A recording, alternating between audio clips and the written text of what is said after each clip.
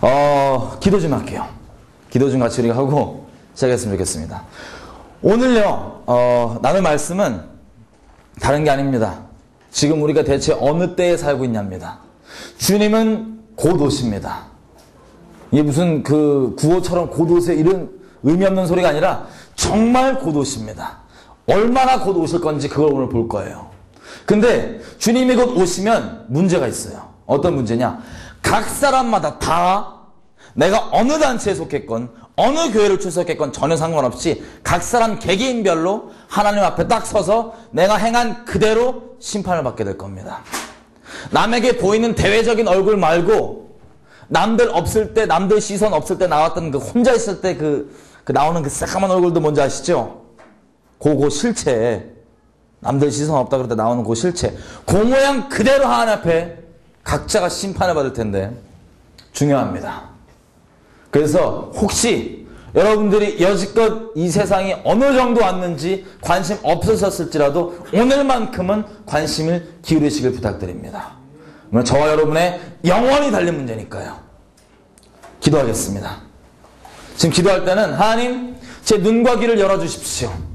그래서 오늘 당신께서 나에게 말씀하실 게 있다면 분명하게 말씀해 주십시오. 당신만 기대합니다. 성령님 이 자리 가운데 우리의 눈과 귀를 열어주십시오라고 지금 이 시간 중 각자 말씀을 위해서 들을 길을 위해서 기도했으면 좋겠습니다.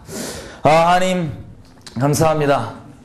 우리 가운데 정말 어, 우리가 누구인지 너무나 잘 아심에도 불구하고 우리를 끝까지 포기하지 아니하시고 당신 안으로 인도하시길 원하시는 하나님 너무나 감사합니다. 아니 오늘 이 때에 대해서 나누려고 합니다. 하나님 어떤 자들에겐 이것이 정말 중요하고 당신의 사, 어, 영혼들 삶이 바뀌게 될 하나님의 음성으로 들리겠지만 또 아버지 그러지 않을 영혼들이 있을 수도 있사오니 하나님 그 은혜를 구합니다.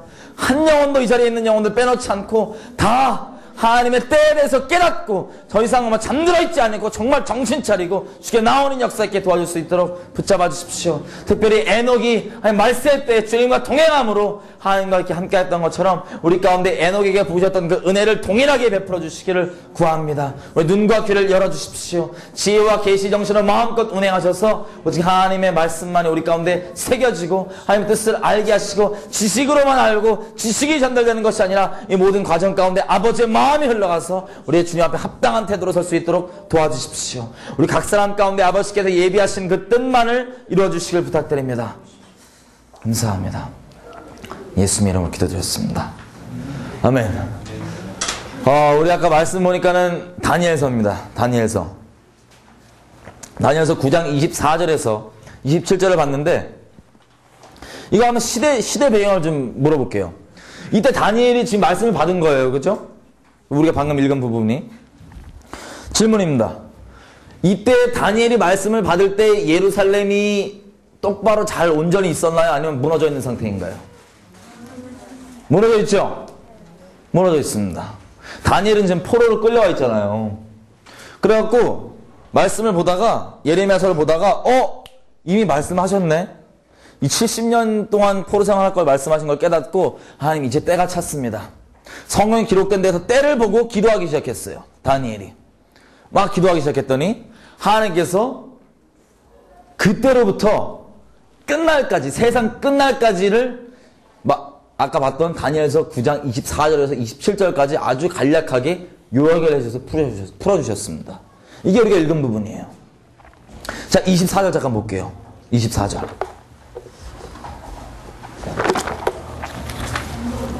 자, 이렇게 되어 있습니다. 이 말씀을 주시면서 이게 누구에게 정해진 거냐면 너의 백성과 너의 거룩한 성을 위하여서 70일에로 기한이 정해졌다. 자, 하나님께서 기간을 정하셨어요. 70일에. 이게 먼저 볼 거예요. 근데 이 기간이 끝나면 어떤 일이 일어나냐? 이렇게 돼 있습니다. 이 기간이 끝나면 허물이 마치고 죄가 끝나고 죄악이 영원히 속해지며 영원한 의가 드러나며 이상과 예언이 응하며 또 지극히 거룩한 자가 기름 부음을 받으리라. 이렇게 되어 있습니다. 자, 하나님께서 70일에로 기간을 정하셨는데 이 기간이 다 차면 어떤 일이 일어나느냐? 이 성경이 말하고 있는 이상과 예언들, 성경들, 선지자들이 받은 말씀들과 환상들 이런 것들이죠. 이 기록들이 다 응답된다 이거예요. 다 응답되고 죄가 끝나고 영원한 의가 드러난다. 와. 한마디로 세상 끝난다. 이 얘기입니다. 이 71회가 지나면. 근데 먼저 확인해 볼 게 있어요. 이걸 누구에게 정했죠, 하나님께서? 이 대상이 누구죠? 여기 말씀하기를. 이 71회 기간을 딱 정하셨는데, 누구, 누구에게 정하셨어요? 누구를 딱 두고, 누구를 대상으로? 아니, 써 있잖아요. 백성과 너의 백성. 자, 다니엘에게 너의 백성은 어떤 백성이죠? 어떤 민족이죠? 아, 너무 헷갈리네. 무슨 뭐, 게르만족 거 아니었잖아요. 그죠? 유대인들입니다. 이스라엘 민족. 유대인들. 하나님께 70일을 정했는데 이게 대상이 누구냐면, 다니엘의 백성, 유대인들, 너의 백성과 또, 또 한 가지 있어요. 정한 데가. 대상이. 뭐죠? 뭐라고 나와 있죠? 거룩한 성, 거룩한 도시. 다니엘에게 정해진 이 민족에게 정해진 거룩한 도시가 어떤 나- 어떤 도시죠? 아, 나 너, 너무 어려운 질문하다. 어, 어떤 도시죠? 졸리신 거 아니죠? 아, 이렇게 일방적 주입식 교육에 익숙하세요? 나 좀 대화를 하고 싶은데, 좀 이게. 예루살렘! 지금 예루살렘 단어를 거의 처음 듣는 것처럼 눈을 이렇게 말똥말똥하죠. 예루살렘이 뭔지는 아시죠? 예. 자, 아, 참, 이렇게 앞일이 지금 깜깜한데, 지금. 앞으로 한 시간 반 정도 저희가 나눌 건데 깜깜합니다. 자, 이 하나님께서 71일의 기간을 정하셨는데, 누구에게? 이스라엘 민족에게. 또 이 정한 대상이 이스라엘 민족과 거룩한 성, 예루살렘. 이것, 이 대상을 두고 71회를 정했어요. 그래서 하나님이 정하신 이 71회가 이 두 대상에게 쭉 다 일어나면 어떻게 된다? 세상 끝난다. 이게 다니엘서 9장 24절 얘기하는 겁니다. 여기까지 이해되셨죠? 그러면 쭉 보면 이렇게 돼 있어요. 그럼 어떤 일이 일어나냐? 70이레 대체. 보십시다. 25절. 다니엘에게 이럽니다. 하나님께서. 자, 넌 깨달아라. 지금 예루살렘이 무너져 있는 상태인데 예루살렘을 다시 지으라는 명령이 떨어질 때부터 카운트다운 시작. 이 70이레. 영이 날 때부터 언제 기름 부음을 받은 자 예수 그리스도시죠? 예수님께서. 예수님은 메시아라는 소리입니다. 그죠? 히브리 말로 메시아는 기름 부음을 받은 자입니다. 그래서 여기 무슨 얘기를 하는 거냐면 너는 깨달아 알아라. 이 70이레의 카운트다운이 언제부터 시작되냐면 예루살렘이 지금 무너져 있는 상태지만 예루살렘을 다시 지으라는 명령이 떨어질 때부터 요이 땅 시작해서 메시아가 나타나는데 메시아 일어나기까지 시간이 지나가는데 어느 정도 지나냐? 일곱 일회가 지나고 또 62일회가 지난다. 그러면 예루살렘이 다시 중건되고 사람들이 막 돌아다니고 살 건데 26절입니다. 이 62일의 이후에 어떻게 되냐? 메시아가 기름 부음 받은 자가 끊어져 없어질 것이며 원어적으로는 메시아가 죽을 것이며 이렇게 돼 있어요. 그 다음에 어떤 이게 일어나서 다시 성읍과 자기 이 도시들을 박살내고 성소를 박살내고 쭉 가다가 27절에 말세에 가면 쭉 가다 이게 말세인데 그때부터 누가 등장하는데 그가 장차 많은 사람들과 언약을 맺는다. 기간은 이 언약의 기간은 한 일이에요. 한 일에. 이 한 일회 동안 절반에 이 일회 동안 절반에 어떤 일이 일어나냐면 이 성소에서 드리는 예배가 끊어진다. 제사가 끊어진다. 이렇게 돼 있어요. 이게 우리가 지금 간략하게 봤던 다니엘서 9장 24절에서 27절 얘기입니다. 70일에. 그럼 71회가 대체 뭘까요? 71회가. 성경은요, 성경으로 풀어야 됩니다. 요한계시록 있죠? 요한계시록과 다니엘서는 다른 얘기를 하지 않아요. 요한계시록은 없는 얘기를 갑자기 막 하는 게 아니라 이미 구약에서 있는 말들, 아직 성취되지 않은 예언들을 다 축약한 모음집 플러스 또 그걸 구체적으로 풀어주는 것, 이런 것, 이건이라 볼 수 있습니다. 근데요, 보면 다니엘, 요한계시록 11장부터 이 마지막 한 일에 있죠, 한 일에. 한 일에 대해서 나옵니다. 요한계시록에서. 그럼 너무 복잡하게 안 들어가고 그 한 일회를 요한계시록이 도대체 기간으로 얼마로 푸는지 한번 그것만 볼게요. 잠깐. 요한계시록 11장입니다. 어, 약간 왔다 갔다 할 거예요. 성경 전체를. 오늘만 잘 들으셔도 성경이 맥으로 쫙 들어오실 수 있습니다. 요한계시록 11장. 자, 이, 이 요한계시록 11장부터 13장 여기 이렇게 주로 뭐냐면 이 아까 마지막에 봤던 그 한 일에 있죠. 한 일에 그 부분을 이렇게 풀어놓은 겁니다. 근데 여기 보면요. 한 일회가 반으로 나뉘어요. 절반에 무슨 일이 일어난다고 되어 있어요. 그 전에 보면 이렇게 되어 있습니다. 요한계시록 11장 2절. 요한계시록 11장에는 성전이 있어요, 지금. 성전이 있는데 2절에 보면은 이렇게 되어 있습니다. 기간이 나와 있어요. 마지막 부분에. 기간이 뭐라고 나와 있죠? 42달.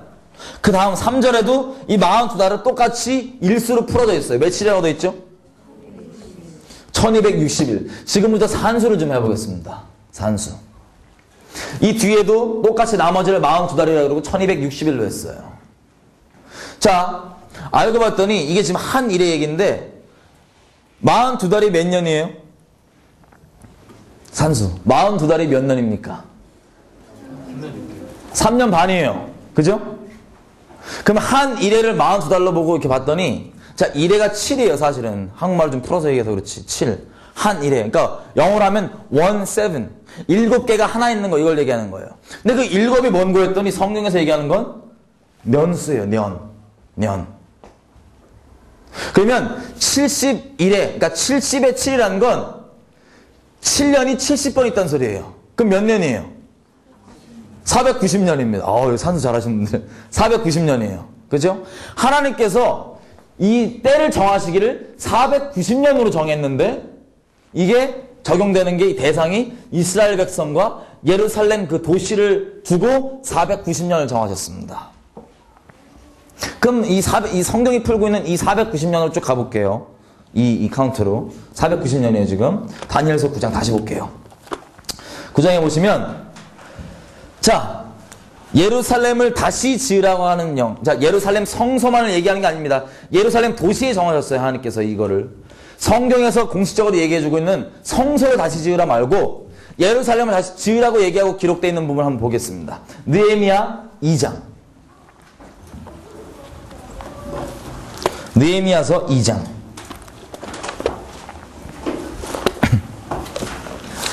느에미야서 2장 1절에 보면은 기간이 나와 있습니다. 때가 언제인지 한 번만 누가 말씀해 주세요. 느에미야 2장 1절에 어느 때라고 되어 있죠? 아닥사스다 형님 제20년 무슨 월? 니산월입니다. 니산월.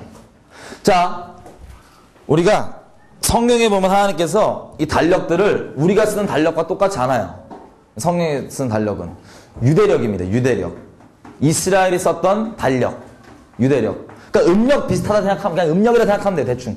똑같이 우리 음력이랑 똑같지 않지만 음력으로 쳐요. 달력으로 이렇게. 달 이걸로. 근데 이 니산월은 뭐냐면 우리가 영어로 1월 달이 뭐죠? 제니얼이 2월 달 페브리얼이 여러 가지 제가 괴롭히면서 묻습니다. 1달, 1월달, 2월달인 거 알죠? 니산월은 유대력으로 1월달이라는 소리입니다. 우리는 1월, 2월 얘네 카운트하지 않고 유대력은 뭐라 하는 뭐 니산월, 뭐 아비벌 뭐 이렇게 막 해요. 기슬레월. 그러니까 이이달 이름이에요. 근데 1월달입니다. 1월달. 지금 아 1월달이에요. 근데 이때 뭐가 있냐면요. 하나님 정하신 절기가 있어요. 6월절 있습니다. 니산월에. 근데 자 여기서 말하는 아닥사스다 왕 20년째 니산월에 일어난 이벤트가 지금 느헤미야서 2장이에요. 느헤미야 2장에 저희 잘하는, 잘하는 얘기입니다. 이렇게 하고 있어요. 느헤미야가 1장에 보면은 자기 아는 애가 딱 와서 얘기하는 게 뭐예요? 야 예루살렘 어떻게 됐냐 그랬더니 지금 쫄딱 무너졌다 다 망했다 그러니까 막 갑자기 막 회개하고 금식하고 막 그러잖아요. 마음이 너무 무너져갖고 느헤미야가 그리고 느헤미야가 막 이러면서 뭐 하냐면은 하나님께 아주 구체적으로 기도를 해요. 1장 마지막 절에 보면 이래요. 왕을 두고 느헤미야가 내가 이 왕한테 좀 은혜를 좀 받게 해주십시오. 이, 이 예루살렘 기도하다가 금식하면서 무너진 것 때문에. 그러다가 이제 20, 그, 야닥사스 왕 20년, 제 20년째, 니산월에 느헤미야가 술 따르는 사람이었잖아요. 그 당시 때 술 따르는 사람은 왕 친구야, 그냥. 같이 술 따르면서 이렇게 막 썰 풀고 막 안녕, 뭐 이런 거야. 근데 또 우리 하나님 사람들은 이게 진실하잖아요, 마음이. 이 썩소가 잘 안 져지는 거야, 느헤미야가. 왕 앞에 막 술 따르는데 이 표정 관리가 안 돼. 막, 막, 막 힘들어. 예루살렘 때문에 막, 막 거시기 하고 있어. 근데 왕이 딱 술 먹다가 술 맛 떨어지게, 야, 너 뭔 일 있냐? 물어본 거야. 그랬더니 니에미아가 자기가 기도했으니까 딱 알아요. 기도한 사람들은 때를 압니다. 딱 기도하다가 어 응답 떴다. 그래갖고 바로 저기 왕이요, 내가 사실은 우리 저기 저쪽에 있는 우리 그 도시 예루살렘 우리 열조들 했던 그 도시가 지금 무너져갖고 가슴이 너무 아프다고 이리야 손 안 잡힌다고 혹시 왕께서 저를 좀 이렇게 이쁘장하게 봐주시거든 제가 금방 후딱 갔다 올 테니까 가서 좀 이렇게 뚝딱뚝딱 그 성 좀 다시 이렇게 좀 그 도시를 다시 좀 재건하고 오면 안 될까요? 라고 물어봐요. 니에미아가 왕한테 그랬더니 아닥사스 대왕이 듣고 아우 갔다 와 갔다 와. 그래 놓고는 조서를 내리기를 야 얘 가는데 다 도와줘라고 공문을 띄워줍니다. 야 느헤미야 가서 하는데 다 도와줘로 공문을 띄워줘요. 이게 성경이 얘기하는 처음 예루살렘 도시의 그 중건하는 명령입니다. 처음 여러 가지 영들이 나와요. 성전 지으란 영, 여러 가지 영. 하지만 성경의 예언은 첫 번째 이 예루살렘 재건하라는 명령이 떨어져요. 자 이게 분명히 아닥사스다 왕 20년, 제 20년 니산월에 시작됐다고 돼 있어요. 그럼 카운트다운 한번 들어가 보겠습니다. 이때부터 카운트다운이 들어가요. 다니엘서 25절 보잖아요. 9장. 그러면 이렇게 돼 있어요. 이 명령이 떨어질 때부터 언제냐? 일곱 일회가 지난다. 일곱 일회가 몇 년이죠? 49년 이 지난대요. 그 다음에 또 62일회가 지난대요. 62 곱하기 7. 몇 년이죠?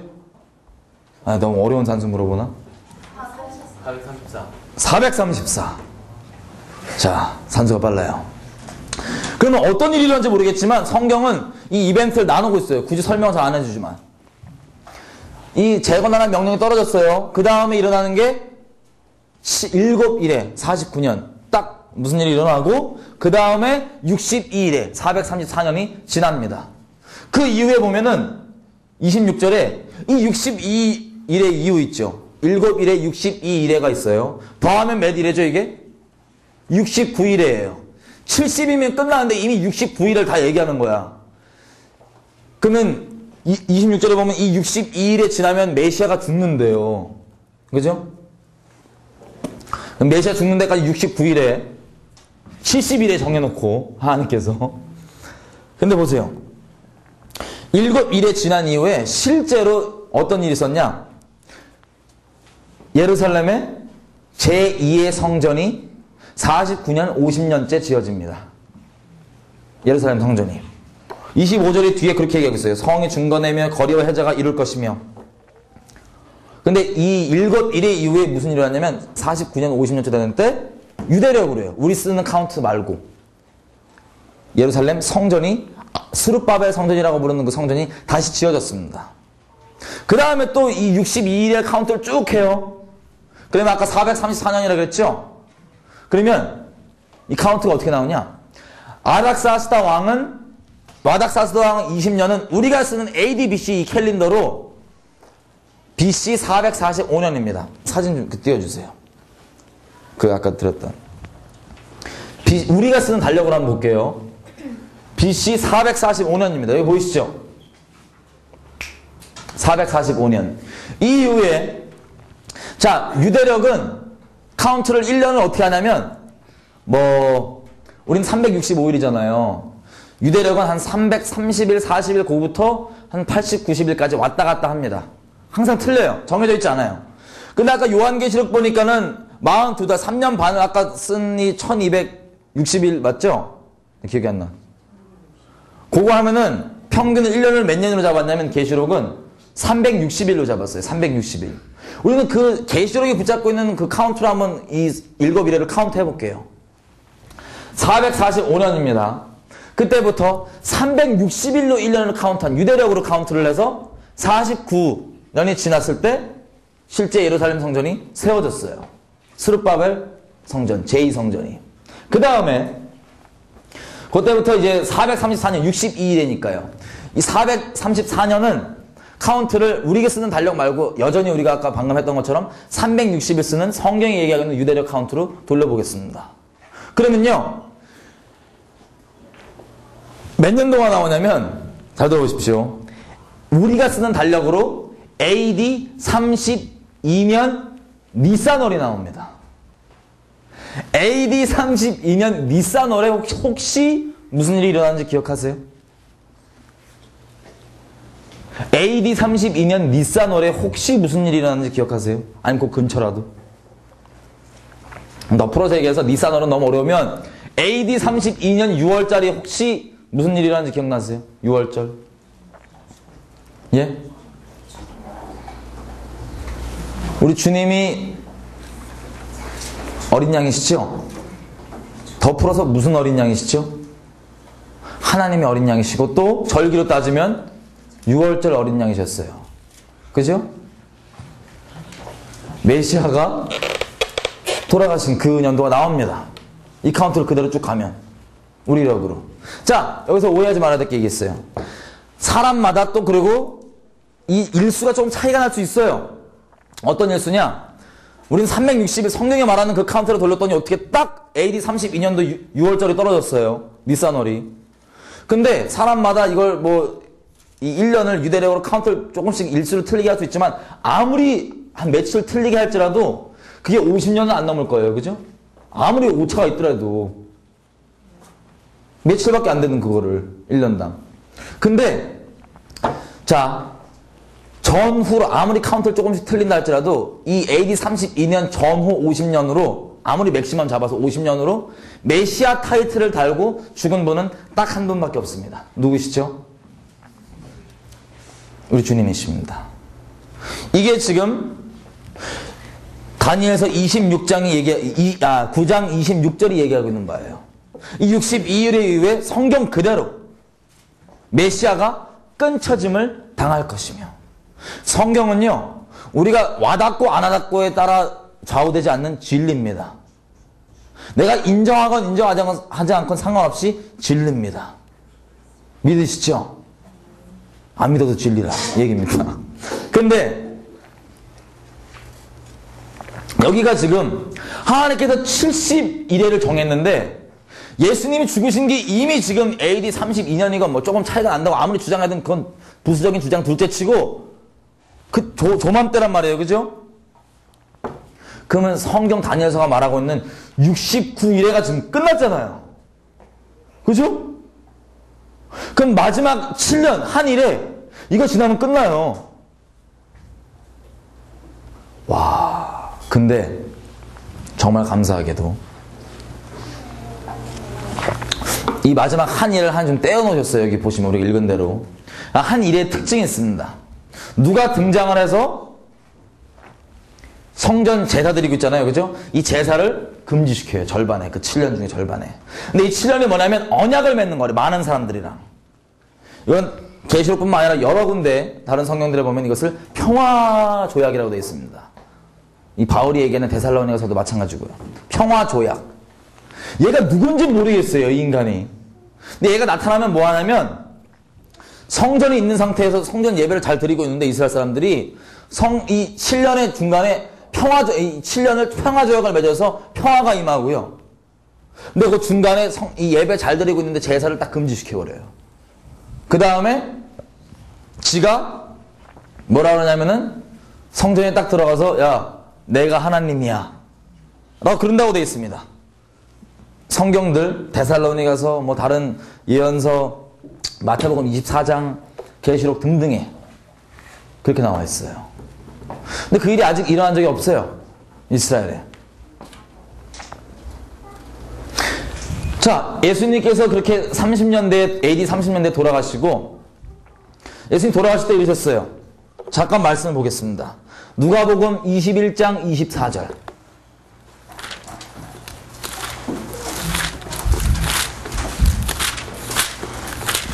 누가복음 21장 24절.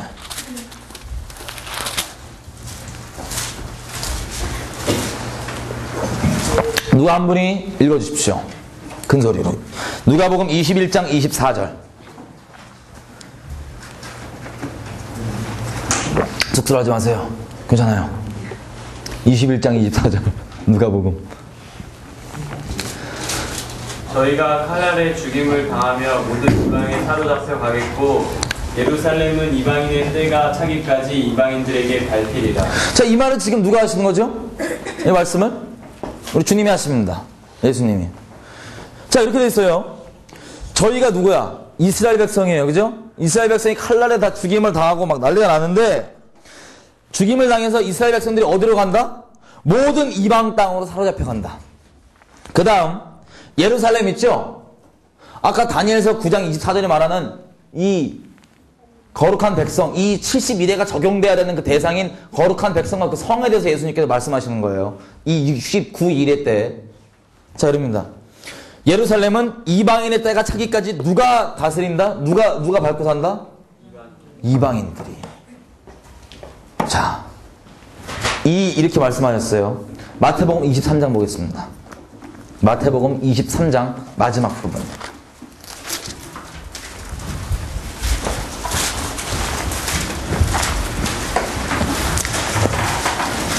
23장 마지막 부분.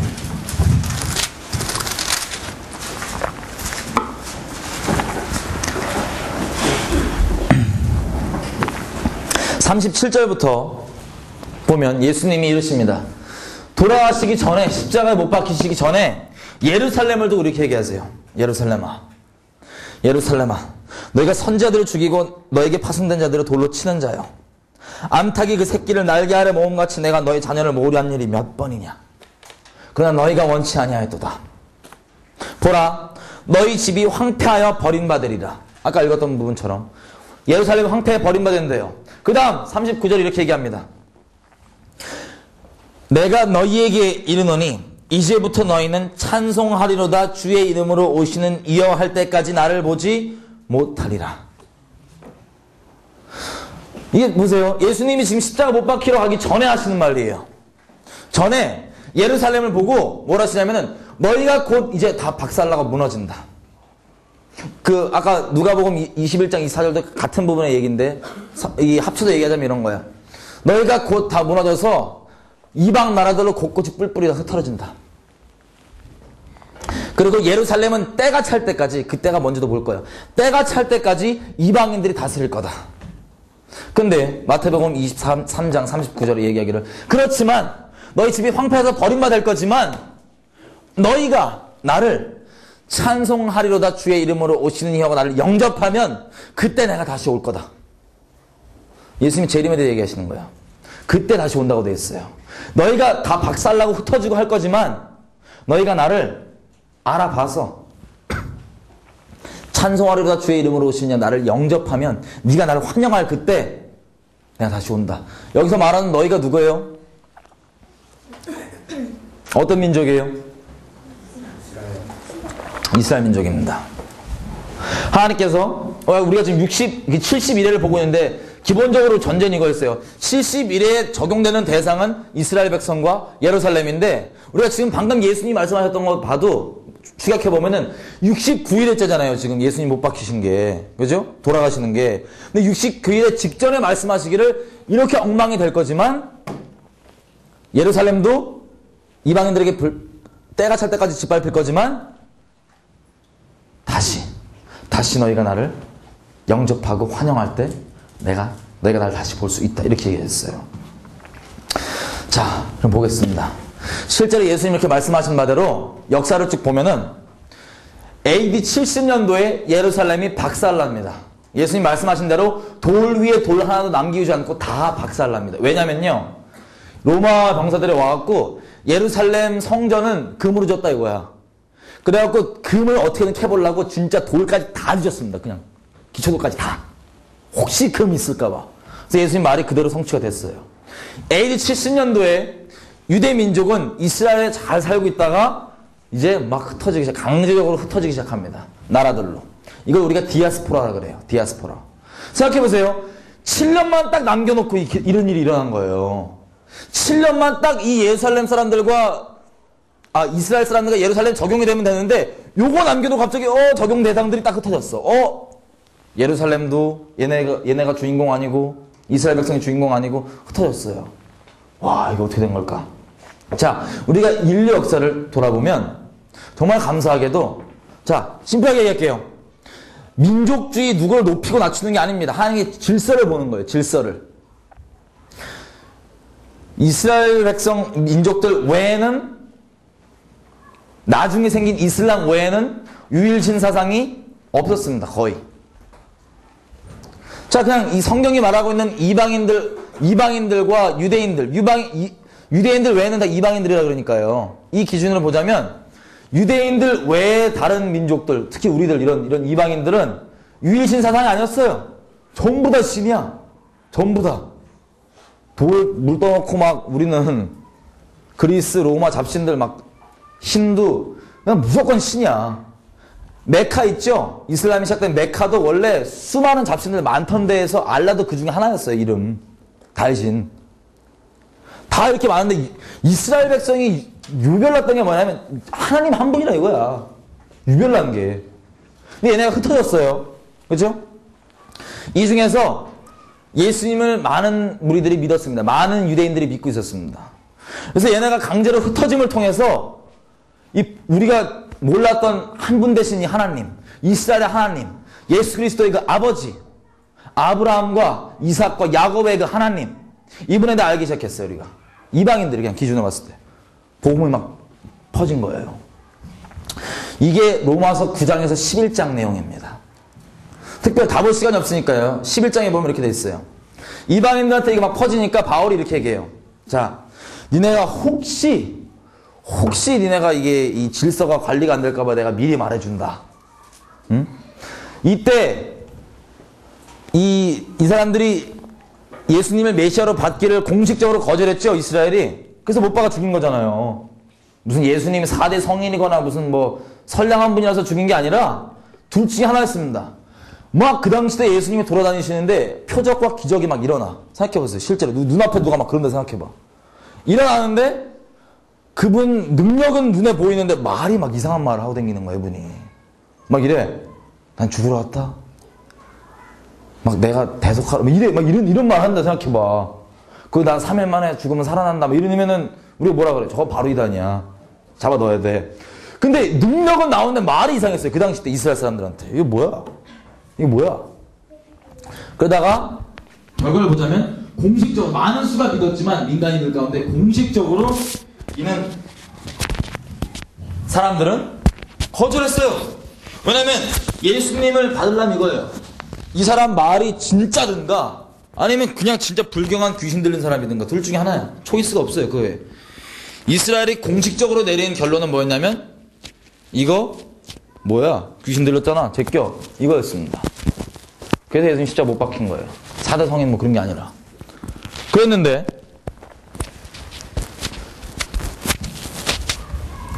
그, 래서 이제 흩어졌어요 공식적으로. 근데 마- 민간에 믿던 많은 사람들 때문에 예수님의 복음이 막 전해지기 시작한 거예요.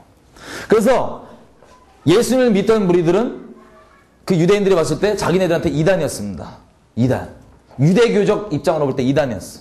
나사렛 땅. 막 흩어졌어요. 그래서 이방인들이 흩어, 이 유대인들 흩어짐 때문에 많은 수가 복음을 접하게 됐습니다. 그때부터 시작이에요. 복음을 막 접하게 된 게. 근데 로마서 11장에는 바울이 이렇게 얘기합니다. 하도 못 알아듣는 애들이 있을 거 아니야. 우리가 생각해 보세요. 우리가 지금 봐도 이스라엘 사람들이 예수님 못 알아보거든요. 깝깝하단 말이야. 아, 이것들 막 깝깝해. 메시아를 내버려두고 못 보니까. 근데 이방인 그때도 마찬가지였어요. 그래서 바울이 이방인들에게 뭐라고 얘기하냐면은 이렇게 얘기합니다.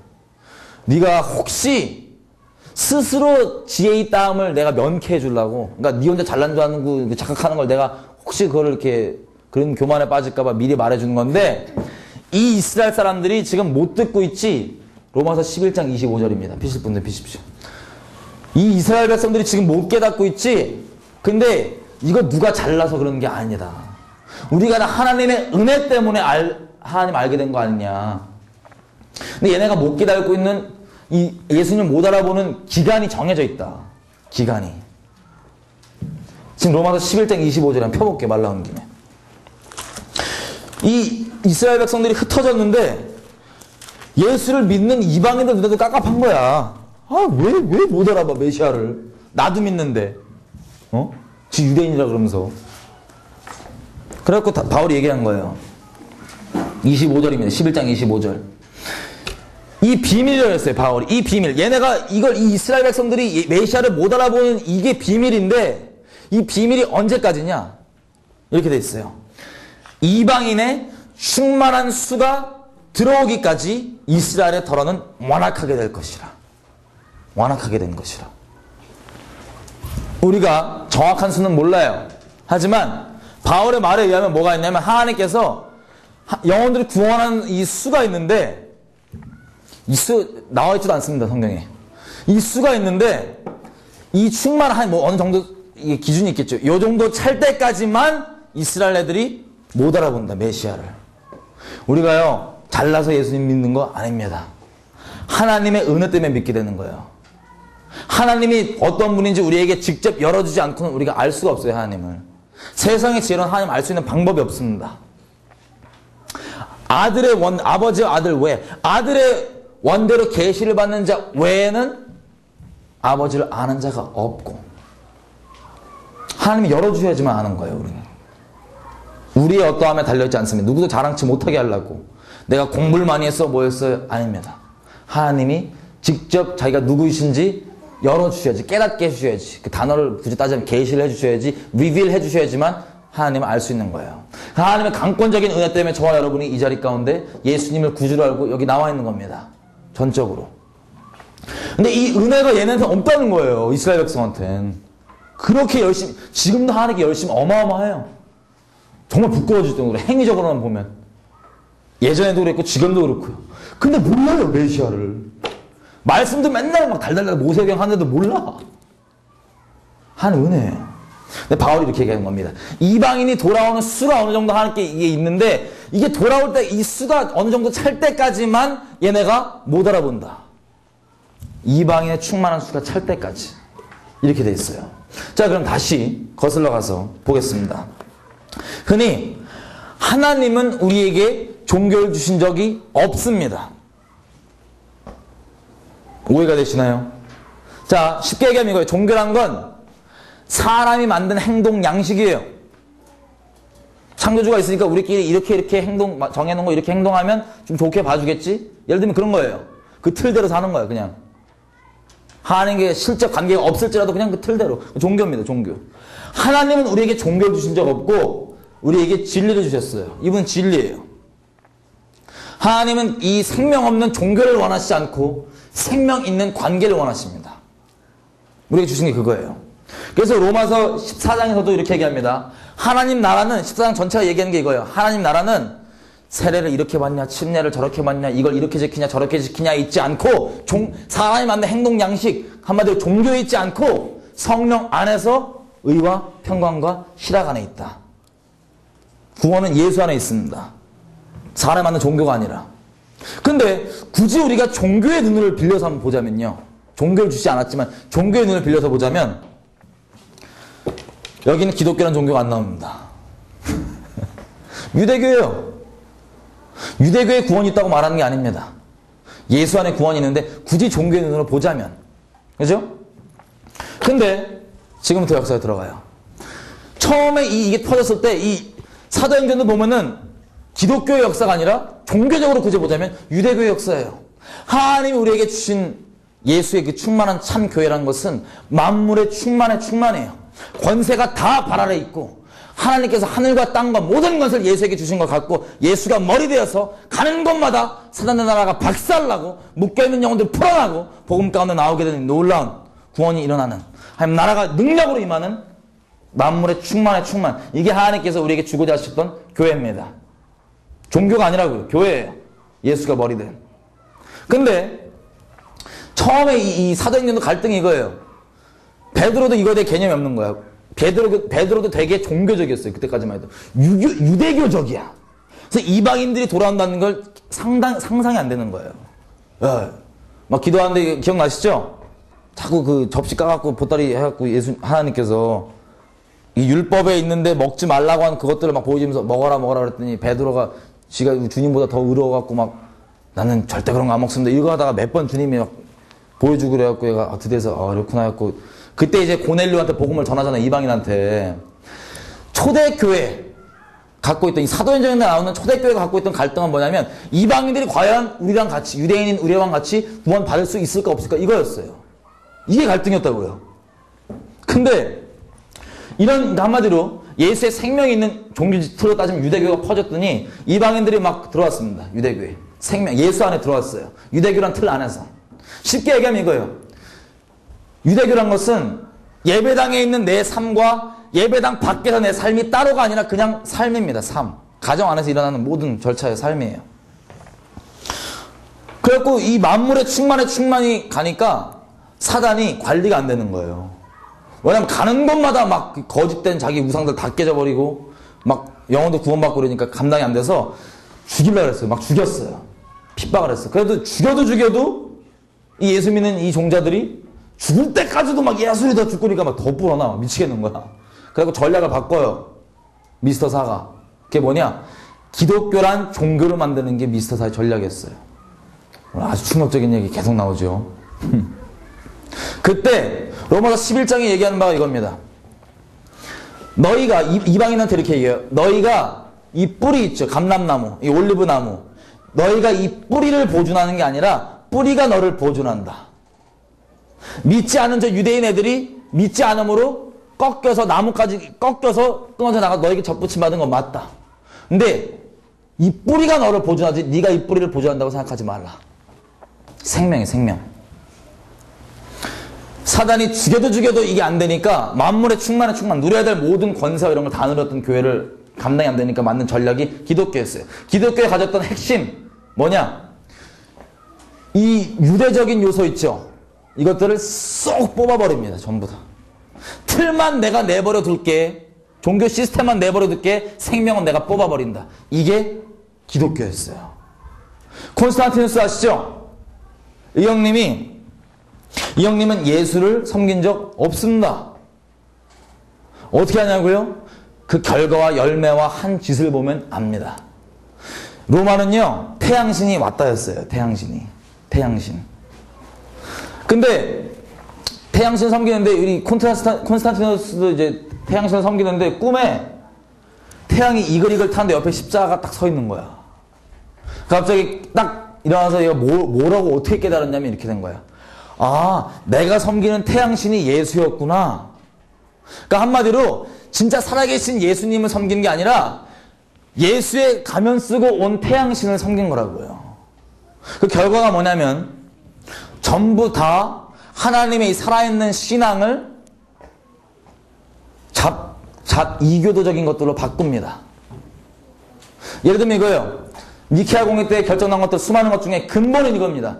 하나님께서 유대인들은 버렸고 우리가 이방인은 우리가 이제 진짜다. 저 어떤 버림받은 존재들이다. 우리가 진짜다. 그래서 유대적인 것들은 다 싹 빼버려야 된다. 그래서 예를 들면 부활절. 부활절이 성경에 나와 있을까요? 안 나와 있을까요? 질문입니다. 부활절이 성경에 나와 있을까요? 안 나와 있을까요? 헷갈리세요? 안 나옵니다. 6월절이 나옵니다. 근데 6월절을 유대적인 거니까 지키기 싫다고 이거 그냥 아, 지키는 이런- 문제가 아니라 이거 꼴 보기 싫다고 빼버렸어요. 그래서 부활절로 바꿨어요. 부활절이 영어로 뭐죠? 이스터입니다. 이스터가 여신 이름이에요. 여신. 그럼 콘스탄티누스가 원래 섬기던 그 잡신 이름 하나씩 붙이는 거예요. 크리스마스 12월 25일이죠? 성경에 이거 나와 있나요? 안 나와 있나요? 나와 있어요? 안 나와 있어요? 안 나와 있습니다. 이거 태양신 생일이에요. 자, 이단들이 와서 우리 맨날 접근할 때 이 부분 갖고 접근 많이 해요. 이 부분 갖고. 부활절, 크리스마스 이런 거. 그래서 걔네가 주장하는 게 맞아요. 그거는. 크리스마스 성경이 없어. 근데 우리가 진짜 말씀에 뿌리 내리기보다는 기독교란 종교에 뿌리 내리면 흔들릴 수 있어요. 이 부순적인 진리로 얘네가 와서 우리 흔든 다음에 결국에는 근본적인 예수를 못 믿게 하는 게 전략인데 제가 말씀드린 건 이겁니다. 그리고 또 한 가지 큰 것들 안식일은요, 우리는 예수님 안에서 날마다가 다 주일이고, 날마다가 다 거룩한 날이고, 날마다가 다 안식일입니다. 믿으세요? 예수님께서 그걸 완성하셨다고요. 근데 그냥 개념적으로 안식일을 굳이 따지자면 성경에 나온 대로 금요일 저녁부터 토요일 날 해 질 때까지입니다. 저녁이 되고 아침이 되니 첫째 날이더라. 저녁 먼저 카운트 하세요, 하나님께서. 그 이스라엘 지금 그대로 지키고 있어요. 중요하지 않습니다. 왜냐하면 예수 안에 실제 우리는 참 안식을 누리고 있기 때문에. 근데 굳이 그 틀을 보자면. 근데 이걸 또 바꾼 거예요. 뭘로 바꿨어요? 주일을 뭐라 그래요, 우리가? 일요일입니다. 일요일. Sun God 섬기는 일요일. 태양신 섬기는 그날. 그날을 바꾼 거예요. 이런 식으로 중요하지 않습니다. 예수 안에 만물에 충만한 복이 하늘에 속한 신령한 복이 다 있어요. 예수를 믿는 우린 그걸 다 누립니다. 이걸 저렇게 지켜 저렇게 있냐 종교에 사람이 만든 행동 틀에 구원도 있지 않고 생명도 있지 않아요. 예수 안에 있어요. 근데 굳이 틀로 보자면 이런 겁니다. 얘기하는 게. 그래서 얘네가 만든 게 뭐냐면 이걸 바꿔버린 거예요. 뿌리 뽑아버린 거예요. 생명을 다. 그래서 기독교가 시작됐습니다. 기독교가. 기독교 부분 혹시 헷갈릴 수 있으니까 약간 좀 어긋나도 이 내용과 좀 어긋날 수 있지만 마저 정리를 하자면 원래 누려야 될 만물의 충만의 충만의 진리를 다 못 누리고 이 생명을 뽑아버리니까 그때부터 껍데기는 있는데 생명이 없었어요 우리한테. 기독교란 종교 가운데. 그래서 암흑 중세 암흑기가 오는 거예요 암흑기가. 그러다가 원래 누렸어야 될 진리 중에 그 수많은 진리 중에 딱 기본적인 거 하나. 우리 의는 어디서 온다? 믿음에서 온다 이게 딱 그때 1500년대 마틴 루터를 통해서 회복이 됐어요. 그죠? 이게 다가 아니에요. 수많이 원래 누렸어야 될 그 중에 뽑아버려갖고 잊어버렸던 그것 중에 하나 회복된 거예요. 하나님의 은혜로. 회복이 됐어요. Wow. 근데 문제가 이겁니다. 영적 원리는요, 심은 대로 거두게 돼 있어요. 영적 원리라는 건. 그래서 기독교란 종교가 처음 심은 게 뭐냐면 유대인들, 유대적인 것들은 다 버렸고 우리가 진짜다라는 걸 심었죠. 대체를 심었단 말이에요. 저것들은 버렸고 내가 진짜다. 그러면 이 열매를 계속 맺게 돼 있어요. 이게 시작된 거니까 종교 자체가. 그래서 자 마틴 루터부터 짧게 얘기하면 천주교 있죠. 이게 기독교입니다. 큰 틀에서 천주교에서 마틴 루터가 믿음은 오직 믿음은 의인으로 아 오직 의인은 믿음으로 살리라 이 진리가 기본적인 게 회복되니까 하는 말이 뭐냐면 이전 것들은 버렸다 이거예요. 이전 천주교는 하나님 버렸고 이게 진짜다. 그 다음에 계속 뭐 장로교 나오고 감리교 나오고 무슨 교단들 하나씩 나오죠. 그때마다 원래 우리가 누렸어야 될 그 진리 있죠. 그 풍성한 진리 가운데 하나씩 하나씩 회복되는데 우리 기독교란 사람이 만든 종교의 틀 자체 이 뿌리가 뭔가 하니 이전 건 버렸고 내가 진짜다. 요게 시작되니까 유대인부터 시작해서 계속 그게 이어져서 그 전에 있던 것들은 전에 있던 사람들은 새로 나온 애들은 원래 있는 진리를 갖고 새로 나온 애들은 이단. 새로 나온 애들은 이전 것들은 하나님 버렸고 내가 진짜. 이게 지금까지도 계속 이어져요. 그래서 이 마지막 때 연합이라는 것은 사람이 만든 기독교라는 그 틀을 벗어나서 진짜 말씀 그 자체 순수하게 뿌리내지 못하면 참된 연합은 불가능합니다. 제가 얘기하고 싶은 기독교를 떠나서 좀 이렇게 오해가 있을까봐 좀 결말을 졌는데 이거예요. 유대인들이 그때부터 어긋났어요. 버림받아서 흩어졌어요. 하나님의 말씀은 1점이라도 땅에 떨어지지 않는 거 믿으십니까? 떨어 떨어지지 않아요. 근데 여러분께 질문이 있습니다. 여러분 하나님의 약속들이 여러분 거세요? 아니야. 이, 이 성경이 얘기하고 있는 하나님의 약속들이 여러분 겁니까? 아닙니까? 맞아요. 우리 거예요. 아멘. 아멘. 우리 겁니다. 근데 질서가 있어요. 이 질서가 왜 중요하냐면 말씀을 볼 때 똑바로 볼 수 있게 해줍니다. 오해가 없이. 우리께 맞지만 질서를 따지자면 우리에게 주신 적은 없습니다. 에베소서 2장 펴볼게요. 에베소서 2장. 에베소서 2장.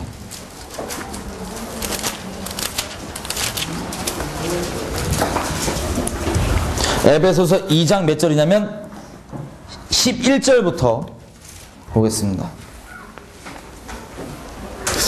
지금 자꾸 지금 70일에 얘기하려고 하는데 자꾸 이, 이 기독교와 이 이스라엘 관계 정리하고 있어요. 여기 있습니다. 11절 제가 읽을게요. 잡히셨나요? 에베소서 2장 11절. 이게 지금 바울이 누구한테 얘기하는 거냐면 이방인들한테 얘기하는 겁니다. 그러므로 생각하라. 너희는 그러니까 이방인인 너희는 그때의 육체로 이방인이요. 손으로 육체 행한 할례당이라 칭하는 자들에게 무할례당이라 칭함을 받는 자들이라. 12절. 너희는 그리스도 밖에 있었고 이스라엘 나의 밖의 사람이라. 약속의 언약들에 대해서 외인이고 세상에서 소망이 없고 하나님도 없는 자이더니. 13절. 이제는 전에 멀리 있던 너희가 그리스도 예수 안에서 그리스도의 피로 가까워졌느니라. 이렇게 되어 있습니다 하나님은요 말씀을 누구한테 주셨냐면 약속들을 누구한테 하셨냐면 이스라엘에게 하셨습니다. 우리에게 한 적이 없어요. 근데 이스라엘이 하셨지만 우리는 이스라엘과 전혀 상관없고 이스라엘의 그 메시아 유대인 메시아 유대인의 왕인 그 메시아랑도 전혀 상관없고 하나님과 이 유일 대신 한 분 대신 하나님과 전혀 상관없고 하나님 주신 약속과도 상관없는 자들이었지만 하나님께서 예수 그리스도 안에서 예수 그리스도 우리가 믿음으로 그 안에 있는 그 모든 생명의 뿌리들 있죠 하늘에 속한 모든 신령한 복들 실제 이스라엘에게 약속하셔서 적용되고 있는 그 실제 이 생명의 말씀들이 우리에게 적용이 된 겁니다 할렐루야 지금은 똑바로 들으세요. 이 오해하신 분들 있어요. 유대인이 잘났다, 우리가 못났다 이런 얘기 하는 게 아니에요. 주님 앞에 동일하신 하나님 앞에 동일하신 사람이 누구든 상관없이 동일한 방법으로 동일한 믿음으로 동일한 복음으로 동일한 구원 받는 걸 얘기하는 겁니다. 근데 질서를 보는 이유가 있어요, 오늘. 말씀에서 분명히 우리가 볼 수 있도록. 하나님께서 아까 우리 다니엘서도 보세요. 말씀을 다니엘에게 줬어요. 아, 이스라엘 백성에게 적용해 주셨어요. 그죠? 다 그렇습니다. 우리가 보는 신약도 있잖아요. 신약이라는 신약도 우리 흔히 개념이 자, 우리는 기독교 틀에서 보면 이렇게 될 수밖에 없어요. 왜? 우리는 원래 이 기독교는 뿌리에서 신앙생활 시작하다 보니까 기본 틀이 뭐냐면 유대인들 버렸잖아 하나님께서. 예? 그걸 굳이 몰랐어도. 그래서 말씀이 적용이 어떻게 되냐면 무조건 영적으로만 됩니다. 무조건. 다시 얘기하면요. 예레미야서 30장 그쪽 쭉 보시면 31장 요쪽 좀 보시면 하나님께서 새 언약을 주세요. 새 언약을.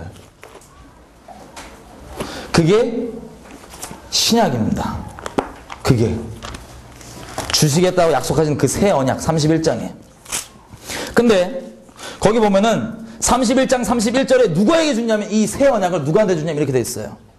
나 여호와가 말한다. 보라. 날이 이를 텐데 내가 이스라엘 집과 유다의 집에 새 언약을 세우리라.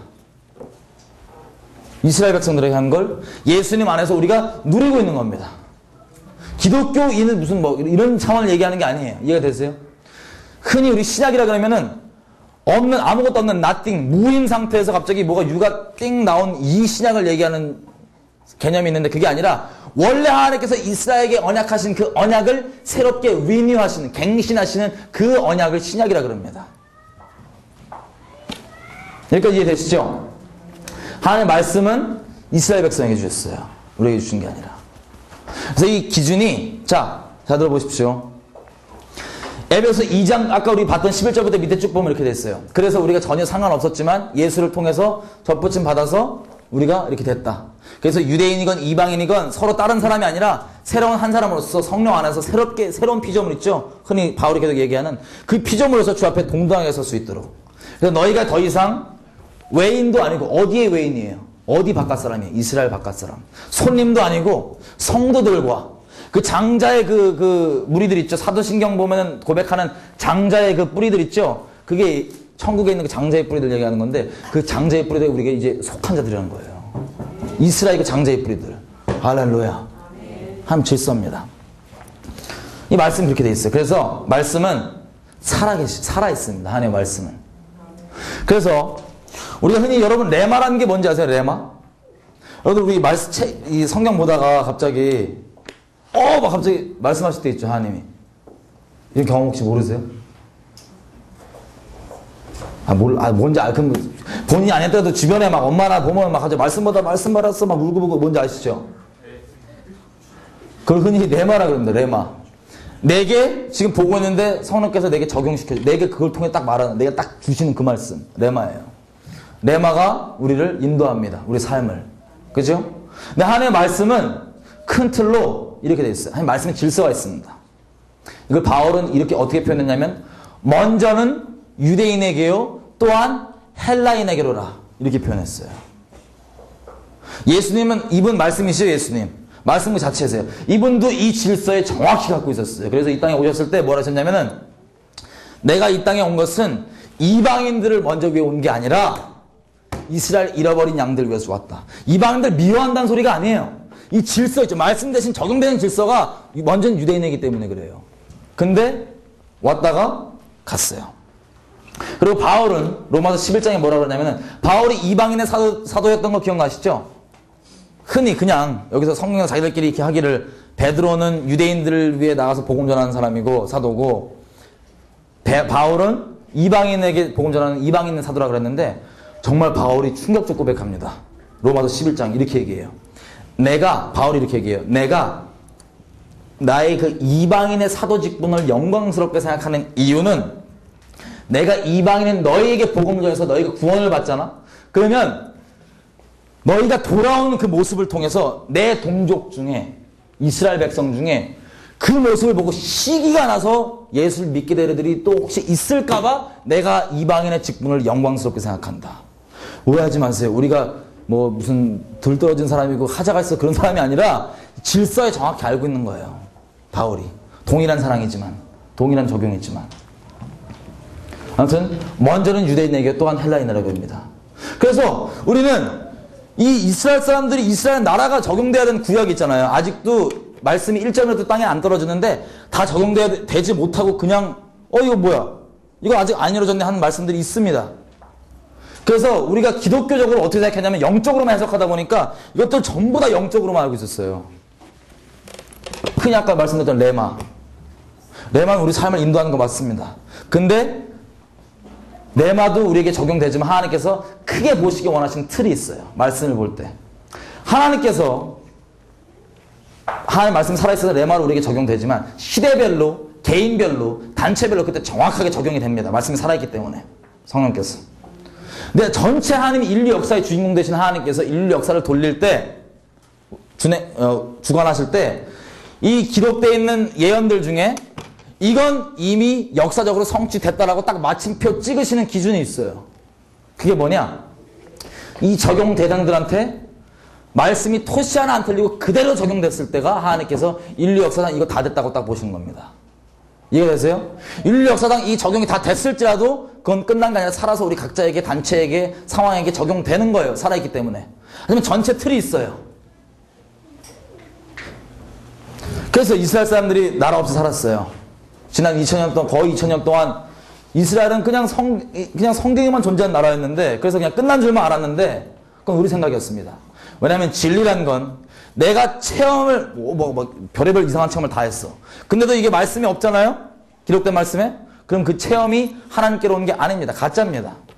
내가 아무리 체험하지 못하고 내 주변에 이, 이런 어떤 말씀이 말하고 있는데 경험한 자가 아무도 없을지라도 그것과 상관없이 말씀에 기록되어 있다면 이건 진리입니다.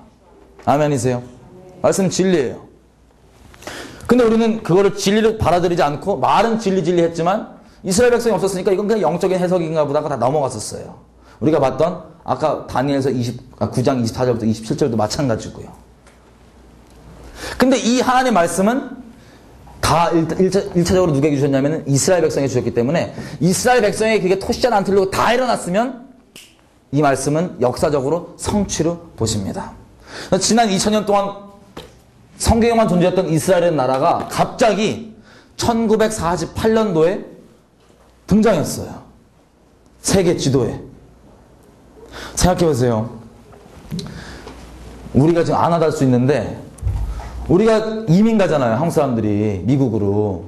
그럼 이, 민 가서 2세들이, 막 이런 애들 있죠. 막 혀꼬부러져갖고 막, 어, 나 김치 내지 싫어. 막 이런 애들 있잖아. 막. 2세만 돼도, 아, 나 막 한국 사람 싫어. 막 이런 애들. 아, 못 만나보셨나요? 아, 그 애들 있어요. 많아요. 다음 세대만 돼도 언어가 단절되고 문화가 단절될 수 있어요. 근데 이스라엘 백성은 그 지금 거의 2000년 동안을 막 돌아다녔는데 전 세계에서 단절되긴 커녕 갑자기 옛날에 있던 그 지역 그대로 갑자기 이 사람들이 돌아와서 옛날에 2000년 전에 있던 나라 이름 그대로 생기고 그때 있던 언어가 그대로 회복되고 그때 있던 절기들이 막 회복됐어요. 기적입니다. 우리가 이다 일어나서 그냥 어 그런가 보다 하는데. 아 생각해 보세요. 한반도에서 우리 고구려 때 우리가 갑자기 중국이 쳐들어갖고 다 흩어졌어 막 디아스포라가 됐어. 아까 막 고려인이고 뭐고 막 조선족 잘 살고 있는데 갑자기 2000년 있다가 한반도로 막, 아, 막 끌려와갖고 무슨 막 사건들이 막 터지더니 한반도로 다 끌려와갖고는 이름이 한반도에 고구려라는 나라가 생겨. 그리고 그때 썼던 그 언어가 막 회복되고 그때 있었던 모든 명절들이 다 회복됐어. 가능한가요? 불가능합니다. 근데 유일하게 이게 어디서 얘기하고 있냐면 성경이 그걸 얘기하고 있어요. 성경이. 그래서 자 우리 베드로 형님이랑 우리 사도 형님들이 봤을 때 헷갈릴 수 있어요. 하지만 나중에 다 정리가 될 겁니다. 예수님이 메시아인 게 진짜 확인됐잖아요. 최종, 최종적으로. 그 전까지만 해도 뭣도 먹고 막 따라다녔잖아. 막 예수님 막 표정 나타나니까 막, 어우, 막, 따라다니다가 갑자기 자기 막 그 창피한 모습 다 나오잖아요. 예수님한테. 뭐막 죽을 때까지 쫓아다니는데 이러다가 갑자기 그막 예수님 막 얻어 터지니까 쫄아갖고 막 누가 말 걸으니까 나 저 새끼 몰라 막 이랬어 베드로가. 욕해 저주했어요 예수님을. 아 몰라 나처럼 쌍스럽게 안 했을 거야. 아무튼 아무튼 더 했을 수도 있고. 하여튼 그래갖고 주님이 다 알자 근데 눈, 눈도 마주치잖아 막 탁 이래갖고는 막 각자 다 부끄러운 게 다 있으니까. 우리 마가 마가로 추정되는 그 양반은 마가복음 하면 그 빨가벗고 다 도망갈 정도로 막그. 그 애들이 쫄아갖고 이제 아, 진짜 이제 그리고 죽었다 살아났잖아요 예수님이. 그럼 이거 완전 뭐야? 그 전에는 뭣도 모르고 막 따라다니다 보니까 그쪽 판인 거 다 다 아시는데 갑자기 죽었다 살아났으면 이거 뭐야? 이거 신 아니야 신 진짜. 쫄아갖고 발발 떨고 있는데 이제 주님이 애들 다 데리고 오죠? 와봐라 데리고 와갖고 이제 수습까지 시켜줘 괜찮아 괜찮아 너 나 사랑하지 나 이거 내 약 먹여라 먹여라 했고 수습까지 해놓은 다음에 다시 기가 살았어 우리 형님들이 기가 살았고 막 사는데 갑자기 그때 이제 다 정리가 되고 이 깨갱하는 것도 예수님 앞에서 정리가 되고 딱 되고 진짜 메시한 것까지 확인되니까 베드로와 제자들이 물었던 게 이겁니다. 사도행전 1장 6절에 이거예요. 주여 그러면 이제 메시아이신 거 확실하니까 주께서 이스라엘 나라를 회복하심이 이때입니까? 유대인들은요 말씀 잘 알아요. 모르지 않아요. 메시아가 오면 이스라엘 나라가 회복되는 건 맞습니다. 처음 오셨을 때가 아니라 다시 오셨을 때예요. 근데 이들은 우리 아까 봤죠? 69일에까지 다 일어났잖아요. 이 사람들한테. 그럼 1년 끝나면 끝나잖아. 70일에로. 이 구약 성서에 보면요. 구약에 나오는 게 선지서를 보면은 대부분의 마지막 날에 말세에 내가 이스라엘 나라를 회복한다고 계속 얘기했어요. 그러니까 이 사람들 메시아가 회복되니까 아 이제 진짜 이제 회복, 우리나라가 이스라엘이 뜨는구나 이렇게 생각했던 거야. 주님 뭐라 하세요? 근데 네 알바 아니고 너희는 그냥 성령의 권능을 받고 예루살렘부터 시작해서 유대와 사마리아와 땅 끝까지 내 복임의 증인이 되라. 나라 회복 그, 그 예언의 그 성취는 니네 때, 그때는 니네 알 바 없고 그냥 복음에 힘써라. 그래서 감사하게 7년만 딸랑 이루어지면 끝나는 그 70일의 중에서 69일에까지 일어나는데 그 1948년 이스라엘이 생기기 전까지 알고 봤더니 우리 있죠, 우리. 하나님께서 이, 이 바울이 계속 얘기했던 것처럼 은혜에 뗀 거예요. 우리가 하나님께 나올 수 있도록 금방 7년이면 끝나는데 이 7년을 내버려두고 그 말씀에 적용되는 대상들이 사라졌던 이유가 우리를 위해서, 이방인은 우리를 위해서, 복음을 위해서 막 가신 거야. Wow! 너무 신기하게. 그래갖고 하나님의 말씀은 신실하고 진리기 때문에 말씀대로 말세인 1948년도에 땅 등장 이스라엘. 그러면 다시 다니엘서로 돌아오면 이게 어느 어느 얘기 하는 거냐면 지금 7년만 남았잖아요 마지막 그죠? 근데 사실은 69이레 끝난 다음에 이 적용될 말씀의 대상들이 사라졌었는데 그 백성이 등장했어요 지금. 와 카운트다운 들어갑니다. 째깍 째깍 째깍 카운트다운. 근데 이스라엘 섭리상 어떻게 되냐면 1967년도에 전쟁을 하나 치러요 이스라엘이. 근데 그 전쟁 때 1948년도에 이스라엘이 독립했을 때만 해도 예루살렘은 요르단 거였습니다. 이스라엘 게 아니었어요. 예루살렘은. 그러면 이, 이 다니엘서가 얘기하고 있는 이 적용되는 두 대상, 이스라엘과 예루살렘 성이 있는데, 지금 예루살렘 성은 아직 회복 안, 됐, 안 됐었단 말이에요. 1948년도만 돼도. 근데 1967년도에 하나님의 섭리 가운데 예루살렘이 드디어 이스라엘 백성에게로 돌아옵니다. 통치가. 아까 예수님이 마태복음, 아, 누가복음 21장 24절에 뭐라고 하셨죠? 언제까지 예루살렘이 누구한테 다스림 받는다고? 이방인의 때가 찰 때까지 예루살렘을 이방인들이 다스리라. 다스리리라. 그 다스림이 끝난 때가 언제예요? 역사상? 1967년도입니다. 이 이방인의 때가 뭔지 더 이 결과적으로 풀어서 말씀드리면요. 정말 놀랐습니다. 지금 이스라엘에서 예수를 메시아로 알아보고 있는 무리들이 급격히 막 늘어나 있어요. 지금. 그래서 그들이 예수님을 막 알아보고 막 찬송하려다 주의 이름으로 오시느냐고 초청하고 있습니다. 근데요. 이 예수를 메시아로 믿는 유대인들의 숫자가 언제부터 급격히 늘어난 줄 알아요? 1967년도부터입니다. 아까 바울이 뭐랬죠? 로마서 11장 25절에 이방인들에게 너희 오해하지 마라. 얘네들이 하나님의 은혜로 우리가 다 하나님 알 수 있지만 얘네들 눈이 가려져서 메시아를 못 알아보는 이유는 하나님께서 이방인의 때, 이방인의 수가 찰 때까지만 정해놓은 비밀이다. 그 이후엔 얘네 눈 열린다. 이렇게 됐어요. 예수님이 누가복음 21장 24절에 보셨던 이방인의 때가 뭔고 했더니 이방인의 수가 어느 정도 찼다고 하는 그때입니다. 자, 오해하지 마세요. 우리가 항상 말씀이나 이런 걸 볼 때 무슨 수학 공식 만들듯이 공식을 만들어요. 이렇게 됐으니까 저건 끝났고 A 이꼴 저렇게 되고 그게 아니야. 살아있는 관계입니다. 다 맞물려서 돌아가요. 톱니바퀴처럼. 그래서 전체 하나님 나라의 그림상 물론 계속 이방인들도 돌아오고 다 돌아오고 있어요. 유대인이건 다. 근데 하나님 전체 나라 그림상 인류 역사를 주관하는 그림상 1967년도가 어느 정도 찼다라는 공식 선언이에요. 한마디로. 그때부터 유대인들이 확 돌아오고 있어요. 그러면 다시 말해서 다니엘서 9장에 나와 있는 기준으로 봤을 때 71회만 다 되면 끝나는데 모든 예언이 다 응하고 이제 끝나는데 말 진짜 주님 오시고 끝나는데 이 적용 대상들이 여지껏 없었어. 우리 마음을 놓을 수 있었어요. 근데 적용 대상 첫째 거룩한 백성 1948년도 회복. 오! 왔어 이스라엘. 아 그래도 아직 거룩한 성이 없잖아. 띠끼 띠끼 띠끼 띠끼. 1967년 예루살렘 회복 어 그러면 이 적용되는 두, 두 대상이 다시 등장했어요, 지금. 다시 역사에 등장했어요. 한마디로 얘기하면, 마지막 7년이 언제 시작될지는 우린 모르지만, 그 시작될 카운트다운이 이미 들어갔다는 소리입니다. 언제 시작될지 모르잖아요, 우리가 솔직히, 그죠? 근데 시작되면 7년 가면 끝난다는 소리예요. 와, 긴장됩니다. 이게 어떤 얘기냐면요. 자, 여러분, 유다설 잠깐 볼게요, 유다서. 오늘 왔다 갔다 많이 합니다. 자, 시간 몇 시까지 있죠? 5시. 유다서를 보기에 유다서. 설마 또 이거 피났더니 가론 유다가 책 썼어요. 뭐 이렇게 생각하시는 분 없죠? 가론 유다 아닙니다. 유다서 14절. 한 장밖에 없어요. 유다서 14절, 15절 한번 볼게요. 자, 유다서가 요한계시록 앞에 있는 겁니다. 맨 뒤에서 찾으세요. 요한계시록 그 요유계 있죠? 요유계. 거기서 유, 유. 유다서에 보면요. 여기 나왔습니다. 14절에 참 우리는 그 에녹 형님 얘기 들어보셨죠? 에녹이 삶 가운데 어떤 메시지를 가지고 살았는지 나와 있습니다. 여기 보면요. 14절 제가 읽을게요. 아담의 7세손 에녹이 에녹이 사람들에 대해서 예언하여 이르되 보라 주께서 그 수많은 거룩한 자와 함께 임하셨나니 이는 묻사람을 심판하사 모든 경건치 않은 자의 경건치 않게 행한 모든 경건치 않은 일과 또 경건치 않은 죄인의 주께 거스려 한 모든 강박한 말을 인하여 저희를 정죄하려 하심이라 하셨느니라. 하, 숨찹니다.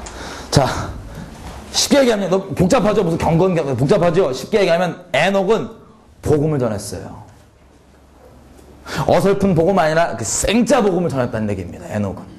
에녹의 삶의 메시지가 이거였어요. 곧 심판이 임한다. 아니 그래도 심판할 건데 회개하라. 각 사람의 행위대로 심판받을 건데 회개하라. 이게 에녹의 메시지였어요. 에녹 혹시 모르신 분들 위해서 잠깐 에녹 설명드리면 자, 창세기 5장에 나오시는 형님입니다. 창세기 5장에 보면 에녹에서 짧게 기록되어 있어요.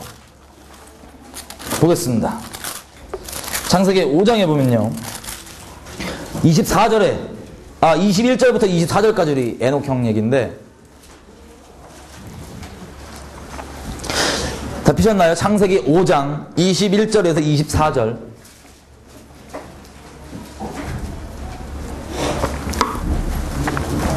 여러분께 좀 어려울 수 있습니다. 오늘 그냥 씁니다.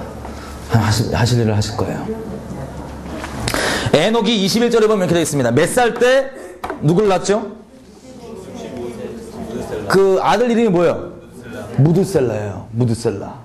그 다음에 22절에 보면은 무드셀라를 낳은 후에 300년을 하나님과 동행하며 살았다고 되어 있어요. 300년.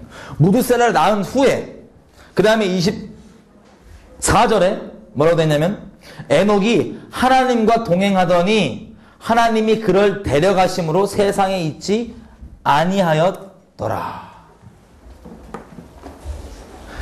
에녹이 아까 가졌던 메시지 알죠? 곧 심판이 임한다. 회개하라. 그러니까 복음이에요. 근데 이 복음이 언제부터 이 동행하기 시작하냐면 에녹이 자기 아들이 나오고 후부터야. 무드셀라가 나오고 후부터. 그다 어떤 일인지 모르지만 이 기록에 보면 그 후부터 하나님과 300년을 동행하면서 메시지가 이, 이 복음이었어요. 곧 심판이 임한다. 말세다. 종말이 임한다. 회개하라. 이게 에녹 메시지였어요. 아우 이단 소리도 많이 들었겠지 그때. 그래갖고 돌아다니다가 365세 때 주님이 싹 데리고 갔대. 이게 성경 기록이에요. 보겠습니다. 무드셀라가요 성경에서 가장 오래 산 양반이에요. 무드셀라다가 히브리 말의 뜻이 있죠. 무드셀라의 이름 뜻을 보자면 뭇, 묻죠, 뭇. 이게 때입니다, 때. 그래서 어느 때냐? 때, 때, 타임. 뭇. 셀라는 보내다예요. 그러면 이대로 그냥 해석하자면 무드셀라 이름이 때 보낸다야. 하면 얘 때 보낸다야. 아니면 다른 해석도 나올 수 있는데 뭇 말고 무두가 뭐냐면 죽으면이랍니다. 죽을 때, 죽다 이런 뜻이에요. 무두가. 그러면 무두로 해석한다면 죽을 때 보낸, 보낸다예요. 얘가 죽을 때 보낸다. 어, 어느 쪽으로 해석하든 본질상 의미는 똑같습니다. 얘 때 보낸다, 얘 죽어서 보낸다 똑같은 얘기예요. 그러면 에녹이 지금 하나님께 주신 메시지가 어, 언제야? 긴가민가 나중에 모르겠어요. 에녹을 똑같이 내가 그 형님 대화를 안 해봤고 모르겠는데 대충 생각하기를 이럴 거야. 하나님께 메시지 받았죠. 말세고 종말이고 끝이다. 근데 어느 때야? 모르고 있다 아들 딱 주시면서 주께서 말씀하시기를 무드셀라다. 얘 때 보낸다. 아니면 얘가 죽으면 보낸다. 심판을. 심판 메시지 전하고 다니는데. 그럼 그때부터 우리 에녹 형님 비상 들어가요. 우리로 따지면 1967년 이후로 째깍째깍이야 지금 에녹 형님은. 언제 시작될지 몰라. 그, 그, 그 심판이. 그래서 막 줄창 막 전하고 댕기다가 너무 전했나 봐. 그래갖고 갑자기 쓱 들림받아요. 올라가요. 아니 내가 테이크에 뭐, 뭘 들림받아 하여튼 데리고 갔대 하나님께서. 하늘에 계시니까 하늘을 데리고 가셨겠지. 그죠? 그 마음이었어요. 노아가요, 600살 때 홍수가 납니다. 600살 때. 600살이요. 아까 말씀드렸다시피 무드셀라가 성경에서 가장 오래 산 양반인데 969살을 살았어요. 아주 즐기게 살았습니다. 이 집안이 계속 복음 전했어요. 계속 복음 전하다가 다 멸시했죠. 언제 오냐? 어? 얘 죽으면 온대 왜? 언제? 그러다가 노아라는 그 손자는 갑자기 가닥 하더니 난 이제 만들어야 돼. 뚝딱뚝딱 만드는 거야. 그럼 사람들이 전화기만 하다가 어 이게 뭘, 뭘 만드네? 이래도 안 들었어 인간들이. 이래도. 그 600, 600살 됐을 때 노아가 아우 죽여 600살 때 하늘에 궁창에 터져요. 심판이 떨어져요. 대홍수가. 인류를 심판했던 심판이. 그때가 무드셀라가 죽었던 해입니다. 969살. 하나님의 자비가 그만큼 크다는 거예요. 우리가 오늘 보고 싶은 건요, 뭐냐면, 지금이 어느 때인지, 이 지금 이해가 다 되시죠? 여기까지 오는데 힘들었어. 7년 남았어요. 언제 시작될지 몰라요. 카운트다운 들어갔어요. 이미 그게 적용될 대상은 지금 존재합니다. 그 외의 것들을 볼게요. 예수님께서 그 외의 것들 가운데 주님 오시기 전에 이러, 일어나 이뤄지면 이게 이뤄지면 내가 온다고 하는 것들. 마태복음 23장 아까 우리 봤습니다. 예수님이 뭐를 했냐면 너희가 나를 찬송하리로다 주의 이름으로 오시는 이여 하고 부르면 그때 내가 온다. 이스라엘 회복은 필수입니다. 예수님 오시 전까지. 근데 죄송하지만 이미 회복됐어요. 영적으로는 계속 회복되고 있겠죠. 제가 회복이란 영화를 하나님 섭리 가운데 저를 영화도 모르는 애를 조감독으로 참여시켜 주셨어요. 조감독으로.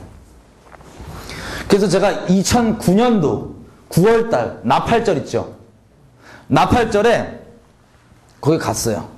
근데 처음으로 이스라엘에 있는 예수를 믿는 유대인들 있죠. 전국에서 처음으로 전국 단위로 다 모였습니다. 처음으로. 근데 이 사람들이 모여서 뭘 했냐면은 프로그램 아무것도 없이 3일 금식하고 그냥 하나님께 기도하는 거였어요. 회개하고. 이스라엘 민족의 구원을 위해서. 거기에 하나님께서 그 역사적인 순간에 저를 참여케 시켜주셨어요.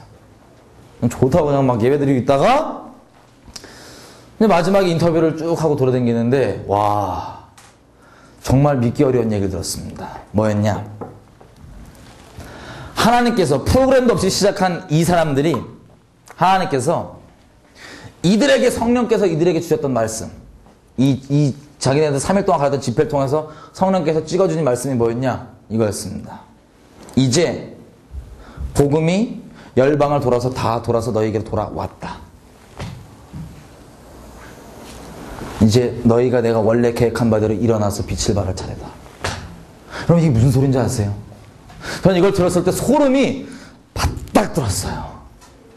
덕이, 덕이다 더 충격적인 건 뭐였냐면 이 사람들이 예루살렘 쪽을 예루살렘에서 집회한 게 아니었어요. 예루살렘 근처. 예루살렘을 바라보면서 뭐라고 막 소리 지르냐면 찬송하리로다 주의 이름으로 오시냐고 막 소리치는데 나 너, 뭐 너무 충격적이었어요 이게. 왜냐면요. 사람이 인정하건 인정하지 않건 인류 역사는 하나님이 주관하십니다. 내가 인식하고 있건 인식하지 않건 인류 역사는 성경대로 돌아가고 있어요. 근데 문제가 뭔지 아세요? 아무리 이건 성경대로 돌아가도 요한계시록에 있는 무슨 환란이가 뭐가 다 이게 일어날지라도 예수만 속해 있지 않은 사람은 몰라요. 그냥 어 뭐야 그러고 끝나고 몰라요. 예수님께 속해 있지 않으면 인류를 주관하신 역사의 주인공 되신 이분 안에 속해 있지 않으면 역사를 못 봐요. 성경 안에서. 아무리 어마어마하게 중요한 예언이 일어날지라도 모를 수 있을까요? 없을까요? 있어요. 예를 들자면요. 예수님 처음 오셨을 때 있죠. 그게 얼마나 중요한 사건이에요.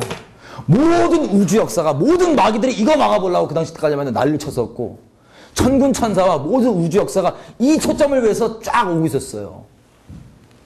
주님이 왔습니다. 인류 우리가 무슨 뭐 먹고 사는 거 힘들고 여러 가지 이유가 있지만 이걸 떠나서 우리가 정말 영원이라는 게 실제고 천국과 지옥이 실제고 하나님 살아계신다면 이건 어마어마한 얘기예요. 근데 이게 일어났을 때 이 어마어마하게 중요한 일이 일어났을 때 정말 놀랍게 이걸 알아본 사람이 있고 못 알아본 사람이 있습니다. 이 어마어마하게 중요한 예언의 성취를. 주로 알아본 사람들은요, 누구였냐면, 안나, 시몬, 뭐 영님들처럼 이렇게 막 주 안에 원래 속해서 계속 기도하면서 깨어있던 사람들 있죠. 지금 오시면 기다렸던. 이 사람들에게는 이게 예수님 알아봤어요. 아기 때부터. 아, 오셨구나. 할렐루야. 그리고 그때 못 알아봤을지라도 하나님 앞에 진짜 자기 양심이 정직한 사람들은 메시아가 앞에 있으실 때 뭘 봤냐면은 하나님 말씀이시죠 예수님? 말씀은 우리 심령 관절 영 육을 막 혼과 육을 찔러 관절을 찔러 쪼갭니다. 말씀 자체가 우리 정죄하는 게 아니라 그냥 우리 찔러 쪼개주게 돼 있어요. 우리, 우리를 위해서. 근데 이분이 우리 앞에 섰다면 우린 바로 심령 찔러 쪼개집니다. 성경에서 계속 기록해요. 복음서 예수님 가는 곳마다 이들이 심히 찔려 말하되 심히 찔려 가로되 이분 말씀 그 자체가 살아계시니까. 막 찔리는데 정말 놀랍게도 예수님을 아까 얘기했던 대로 거, 공식적으로 거절했던 사람들 있죠? 메시아로. 이 사람들이 하나님을 모르는 사람들 아니었어요. 하나님을 열심으로 섬긴다고 하는 사람들이었습니다.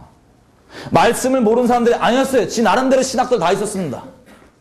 메시아가 와갖고 메시아가 태어났다 그랬을 때 동방박사가 와갖고 예루살렘에서 야 니네 왕나 때문에 그랬더니 난리 가 났어 예루살렘에 큰 소동이 있었어요. 야, 뭐야, 누가, 누가, 누가.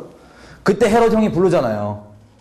그, 말씀 잘 하시는 분들 불러갖고, 야, 메시아가 어디서 나냐? 그랬더니, 지식으로는 잘 알고 있어. 베들레헴이에요. 이래갖고 또 베들레헴도 왕창 죽고 막, 어? 그리고 예수님이 이 땅에 돌아다니실 때, 이분 심령을 찔러 쪼개는 분이시기 때문에, 정말 하나님께 정직하게 반응할 수 있는 사람들은 다 만났어요. 딱 찔러 쪼갤 때, 메시아구나. 와! 무릎, 무릎 꿇고 회개하면서, 하나님, 당신은 다윗의 자손 한마디로 메시아가 맞습니다. 회개했어요. 구원이 있었습니다. 근데 정작 아무리 말씀을 모르고 말씀 안다고 하는 사람들 멸시했던 그 사람일지라도 주님은 중심을 감찰하기 때문에 내가 뭐 무슨 지식적으로 뭘 아냐 이거 행위 종교적 행위 죄송합니다 한 카운트 안 하세요 중심을 보십니다 중심에 정직히 반응한 사람들 다 구원 받았지만 예수님을 거졌던 사람들 중- 중간중간 보면 진짜 놀랍게 자기가 어설프게 알고 있는 말씀에 관한 지식들 때문에 예수님을 거절했습니다. 사람들이 예수님 막 와 메시아다 쫓아다니니까는 이래요. 요한복음에 보면은 바리새인이 야, 이 예수님 쫓아다니는 이 사람들 보고 율법을 모르는 이 무리는 저주받았어. 어디서 메시아가 어? 나사렛에서 나냐?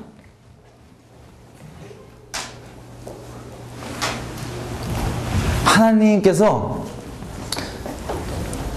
이런, 이런 식으로 차라리 이 사람들 지가 갖고 있는 말씀의 지식 없, 없는 게 나을 뻔했어. 없는 게 나을 뻔했어요. 자기가 안다고 착각하잖아요. 안다고 교만케 했잖아요. 그럼 영적 귀가 닫힙니다. 이 하나님의 원리예요. 한 교만한 자를 물리치십니다. 겸손한 자에게 은혜를 주십니다. 이때도 그랬어요. 정말 아쉽게도. 이 어마어마한 예수님 처음 오신 일이 일어났는데도 못 알아봤어요. 근데 더 아쉽게, 더 환장하게 하나님을 자기가 안다고 하는 그 어설픈 그 신학, 이 말씀 때문에 못 알아봤어요. 그냥 하나님께 물어보기만 했으면, 정말 기도 자리에 있는 사람이라면 논란이 있고 그럴 때 그냥 물어보면 되잖아요. 그냥 하나님께. 맞냐, 기냐, 아니냐. 종교인이었던 거예요. 하나님과 관계가 있는 사람이 아니라. 종교인. 그래서 예수님 거절했었습니다. 그럼 질문이 이거예요. 지금 와서 질문이 이겁니다.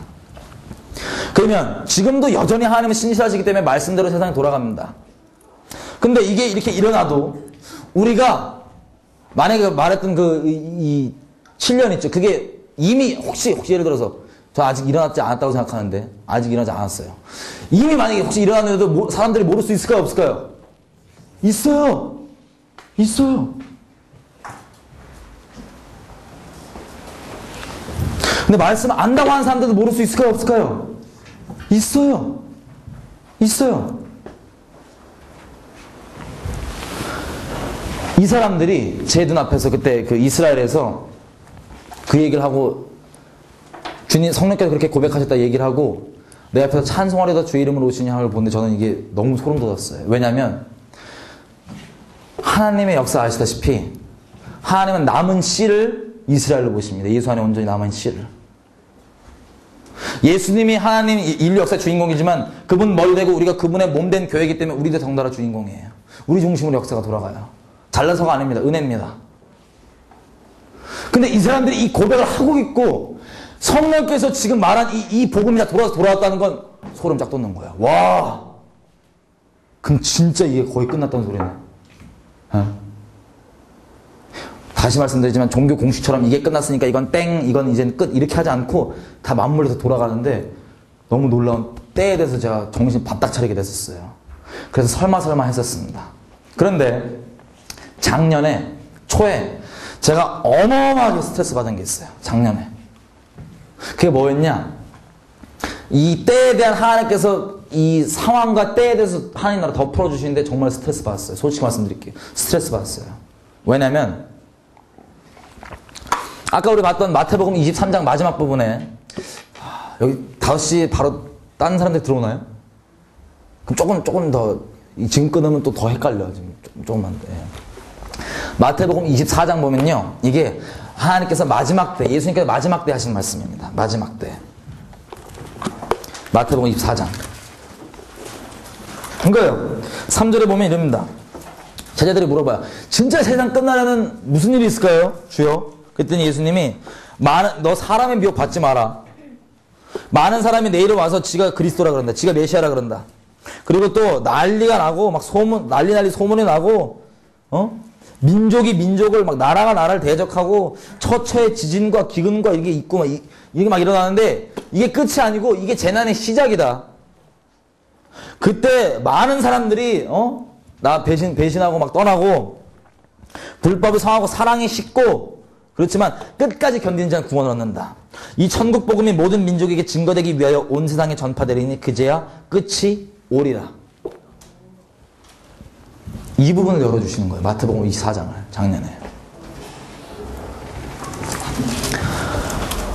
제가 작년 작년 초부터 갑자기 뭐가 눈에 들어오기 시작하냐면 지진이 너무 많은 거야, 급격히. 갑자기.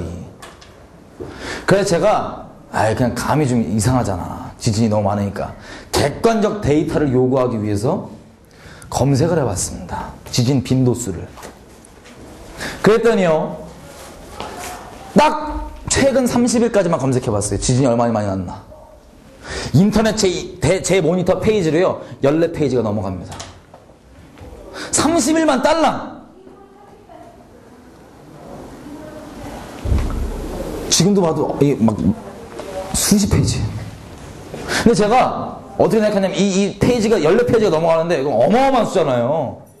제가 혹시 몰라 이렇게 생각했어요. 아, 이거는 큰 지진 말고 조그만, 이 조그만 지진까지도 다 포함한 거니까 원래 그랬는데 내가 몰랐나 보다. 그래서 제가 예전 지진 기록까지도 한번 조사를 해봤습니다. 놀라지 마십시오. 이 지진들이 언제부터 갑자기 급격하냐? 2009년도부터예요. 점점 점점 2009년도부터. 저는요. 갑자기 전 세계의 지진 측량계를 갑자기 이빨에 채웠다고 생각하잖아요. 이해되세요? 무슨 뜻인지? 2009년부터 급격히 늘어났습니다.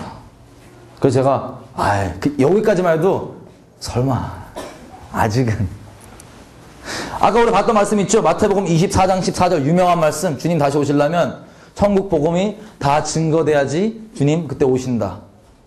전 이걸 어떤 개념으로 갖고 있었냐면요. 이렇게 갖고 있었어요. step by step. 딱 인간적인 개념. 내 틀. 뭐냐. 은혜를 누가 살랑 받으면 갑자기 어, 헌신하려고 그래서 한 명씩 한 명씩 그 미전, 미전도 종족을 나가서 차근차근 step by step. 아, 그래서 한 대충 카운트 해보니까 뭐 빠르면 20년, 30년 고 뒤부터 좀 신경 쓰면 되겠다. 에노 카운트다운 들어가면 되겠다. 이렇게 생각했어요. 솔직히. 근데 세상에 하나님께서 이게 어떻게 성취될지를 알려주셨는데 들어보십시오. 이 얘기를 먼저 하고 들어보세요. 이게 되게 중요한 얘기예요. 요한계시록 보세요. 요한계시록에 보면 요한계시록이 되게 이단들이 많이 쓰죠 맨날. 예? 이단들이 맨날 이거 갖다 장난치잖아요. 무슨 뭐 신천지 형들 보면은 걔들 우리가 14만 4천이다 까불고 말고 막 지네끼리 무슨 게임 하잖아. 여, 여호와의 정의 노르나? 하여튼 맨날 하는 게 14만 4천이잖아 지네끼리. 자 아까 제가 말씀드렸던 이 먼저는 유대인에게요 또한 헬라인에게로다 왜 중요하냐면요 요한계시록뿐만 아니라 이 모든 말씀을 볼 때 중요합니다. 이 이스라엘 나라가 다시 생겼잖아요. 지금. 그러면 이 이스라엘 사람들은 아직도 예수님을 안 믿기 때문에 장애들은 모르지만 우리가 예수님과 관계 있는 우리가 봤을 때 정말 놀라운 게 이거였어요. 이 나라가 생기고 봤더니 성경에 이 나와 있는 예언들 있죠. 이스라엘 나라에 관련된 예언들이 지역까지 포함해서 토시 하나 안 틀리고 문자 그대로 다 일어나요. 다 일어났어요. 말씀은 이 자체가 비유가 아닌 이상은 문자 그대로 일단 다 일어납니다. 자체가 비유가 아닌 이상은. 이게 기본 뼈대고 그 안에 개인적으로 적용되는 레마들도 다 누리며 같이 누리기 원하는 하나님께서 우리에게. 근데 이스라엘 애들도 스스로 모르지만 지역 그대로 다 일어난 거야. 하나님 말씀 너무 신실해요. 이 시간을 지나서 봤더니 너무 신실한 거예요. 그래서 말씀 그 잣된 걸 보면 요한계시록 볼 때도 두려워할 필요가 없습니다. 한 가지 샘플 예를 들면 자 요한계시록 7장에 보면요 이단들이 맨날 써먹는 14만 4천이 나옵니다. 14만 4천.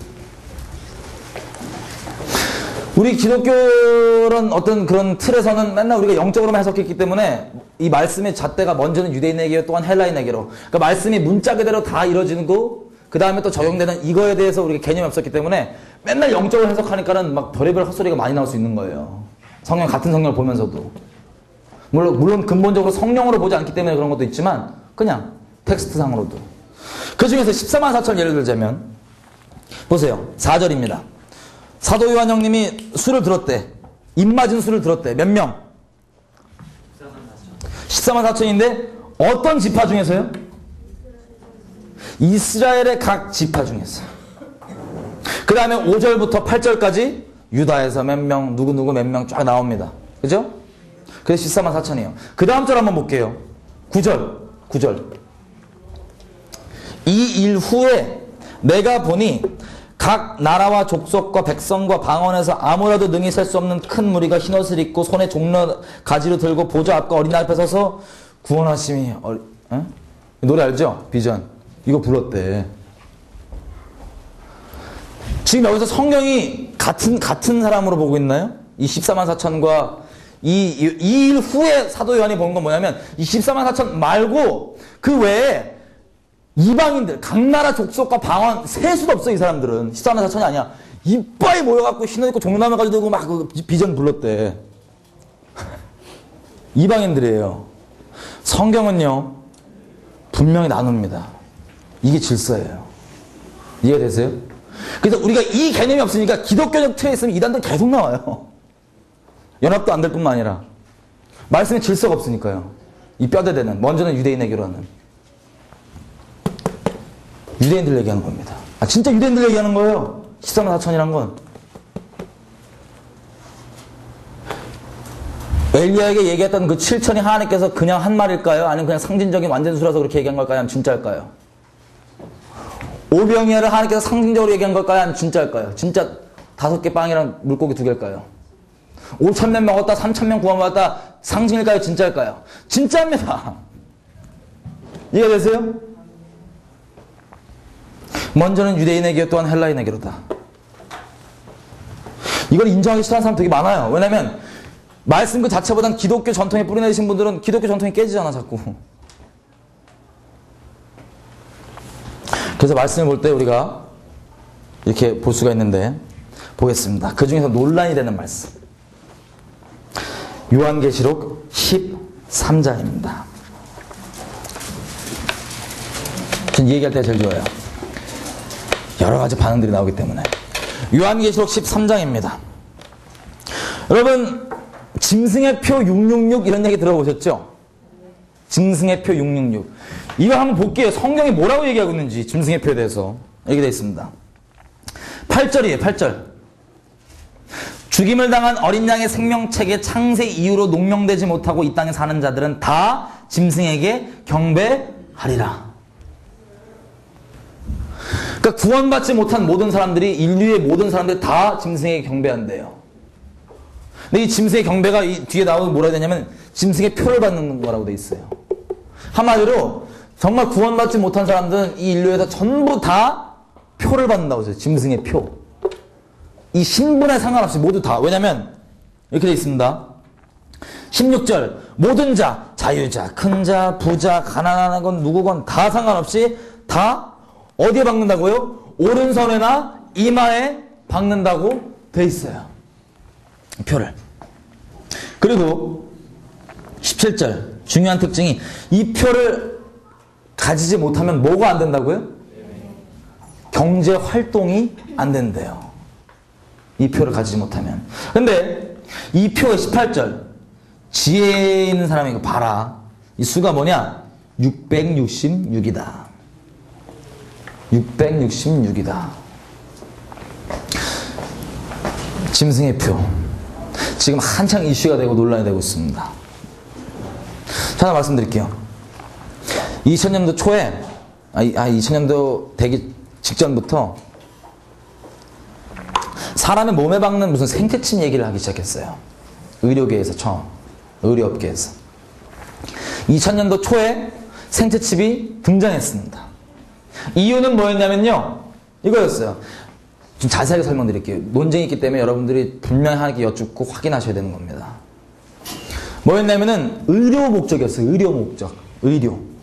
이거예요. 제가 만약에 운전하다가 제가 실수로 이 자매님을 쳤어. 실수로. 너무 시험 받지 마세요. 퉁 쳤어. 그럼 제가 보험 가입되잖아요. 그죠? 보험. 자동차 보험. 그러면 내가 실수했어도 보험 다 처리해줘요. 보험이 병원비 다 대줘요. 그죠? 자매님이 이 동네 병원에 가서 막, 어 씨, 막 무슨 CT 찍고 막 이랬어. 막. 막 MRI 찍고 막 이랬어. 근데 다 확인해 본 다음에 병원에서 하는 말이 자매님한테 저기 저희 병원은 감당이 안 되겠는데요. 큰 병원으로 옮기셔야겠는데요. 그럼 딴 병원으로 옮기죠. 그러면 다시 또 CT를 찍고 막 다 합니다. 다시. 그 돈은 누가 되지? 그 돈 누가 돼요? 보험이 되죠? 그래서 보험 의료적 목적으로 어떻게 나왔냐면 보험회사 뭐 이런 핑계 대고 어떤 얘기가 나왔냐면 돈 낭비하지 말고 이 칩을 하나 사람 몸에 넣자. 이게 뭐냐면 사람 데이터를 그냥 담고 있는 거야 데이터를. 그래서 보험뿐만 아니라 이, 이런 뭐 검사한 자료들 거기 다 넣어갖고 같이 뭐 이렇게 스캔하면 띡 하면 나오니까 이 자료들이 뜨고 또 혹시 누가 사고를 당해서 인사불성으로 실려왔다. 근데 그 사람이 무슨 어떤 특별한 약을 복용하든 아니면 알레르기가 있어서 약을 잘못 쓰면 죽을 수 있으니까 물어볼 수도 없지 않냐. 인사불성이니까. 그래서 그냥 요걸 하나 딱 박아 놓으면 몸에다가 한번 쓱띡 해보면 알레르기 나오고 뭐 다 나오니까는 이걸로 깔끔하게 쌈박하게 가자. 나왔어요. 칩이. 이때 논란이 조금 됐었습니다. 왜 됐냐면은 재수없죠. 솔직히. 뭘 박어. 짜증나게 몸에. 에? 박는데 이게 무슨 또 막, 짐승의 표다 666 여기 얘기하는 거 이래갖고 막 난리가 났어요. 그때 이낸 회사가 뭐랬냐면은 워워워 너무 오버하지 마라. 그냥 의학용일 뿐이다. 어? 걱정하지 마. 매매 이런 거 아니야. 그냥 내, 내버려 두라고. 그래서 또 그냥 야 이거 극단 분자들이 또 설친다 이러고 교회 내에서도 그냥 논쟁으로 끝났어요. 근데 시간 속에 결론만 말씀드리면 이 시간이 지나고 지나고 지나고 오늘날의 이 칩 있죠. 이 베리 칩이라고 하고 뭐 이름이 여러 개 있는데 그냥 심플하게 이 생체 칩을 그 낸 회사를 보면은 행적을 따라가 보면 지난 시간 동안 지난 이 수년 동안 회사 이름들 바꿔가면서 다른 회사들 인수합병해서 이 칩에 다 그 모든 인수합병한 회사들의 기능들을 다 집어넣었습니다. 다 집어넣습니다. 그래서 이게 지금 뭐가 되냐면 위치 추적, 위성이랑 연결돼서 위치 추적. 우리 핸드폰 추적되죠? GPS 위치 추적. 사람 신분증 역할. 지금 치면 이렇게 나오는 거야. 주민등록증에. 신분증 역할. smart key 알죠? 차 타고 말하면 굳이 키 꽂고 안 돌려도 smart key 역할. 우리 교통카드처럼 하이패스 이런 거 있죠? 이런 것처럼 그런 경제적 역할. 플러스 의학적 역할에 정말 논란이 되는 건데 뭐가 있냐면 우리 그 사람이 유전자 지도 발견됐다 이런 거 뭔지 아시죠? 유전자 지도 이런 얘기 이렇게 들어보셨죠? 예? 그거를 인식할 수 있는 128개인가 6개인가 같은 무슨 뭐 코드가 들어있대요. 이게 논란이 되고 있습니다. 왜냐면요. 여러분, 이게 지금 시, 상용화되어 있는 기술인데, 우리나라 TV도 몇 번 방영했는데, 쥐 있죠, 쥐. 쥐의 뇌파를, 동물들 뇌파를 연구해서 살아있는 동물을 우리가 조절할 수 있어요. 그래서 쥐의 뇌파 이거 꼽은 다음에 전자파 찍찍 해갖고 움직이는데, 이 우리 게임하듯이 이거 키보드에 이 화살표 이거 있죠? 쥐 머리에 카메라 꼽고 화살표로 앞으로 갔다 옆으로 갔다 다 할 수 있어요. 이렇게. 살아있는 쥐를. 곤충들도 마찬가지고요. 장애인인 사람이요. 팔다리 못 쓰는 장애인이 집에서 뇌에 이걸 연결해갖고 집에 가전팀도 다 연결을 해갖고 테레비 켜요. 그럼 테레비 딱 켜져요. 채널 돌려, 볼륨 켜, 다 돼요. 이게 앞으로 얘기가 아니라 이미 상용, 아니, 이미 개발돼 있고 심지어는 장애인한테 상용화되고 있는 겁니다. 컨트롤하고 있진 않은 것 같아요. 아직까지. 질문이 겁니다. 이 칩이요. 그래서 매매고 뭐고 다 되는데 아, 편하지. 나, 아, 너, 나 진짜 성경에 이런 거 없으면 너무 편할 것 같아. 그죠? 어, 나 교통카드 없으면 편- 불편하잖아. 현금 갖다 하길. 해보십시오. 이거가 자가적으로 배터리가 돌아가요. 이 칩이. 자가적으로. 사람 몸에 무슨 뭐 전류가 좀 흐르나? 무슨 뭐 조금 뭐 온- 온도 좀 바뀌고 뭐 이런 걸 전류가 흐른대나? 그렇대요. 난 몰라. 난 사람 몸을 잘. 근데 이게 그걸로 배터리가 자가 충전이 되고 막 돌아간다는 거야. 근데 이 연구한 사람들이 사람의 어디 이거를 이식했을 때 가장 이상적이고 배터리가 잘 돌아간지 아세요? 손등이나 이마입니다.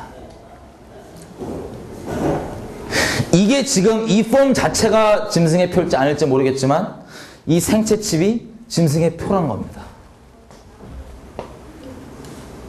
왠지 말씀드릴게요. 이거에 대한 논란이 많아요. 전 예수님 믿자마자 이거에 대해서 짐승의 표라고 하나님께 처음부터 받았습니다. 아, 예수 믿은 지 한 5년 됐어요. 6년째구나. 근데 이거에 대한 논란이 있는 게 이런 거예요. 아까 말씀드렸다시피 하나님과 관계가 있으신 분들은 물어보면 돼요. 심플하게. 기냐 아니냐.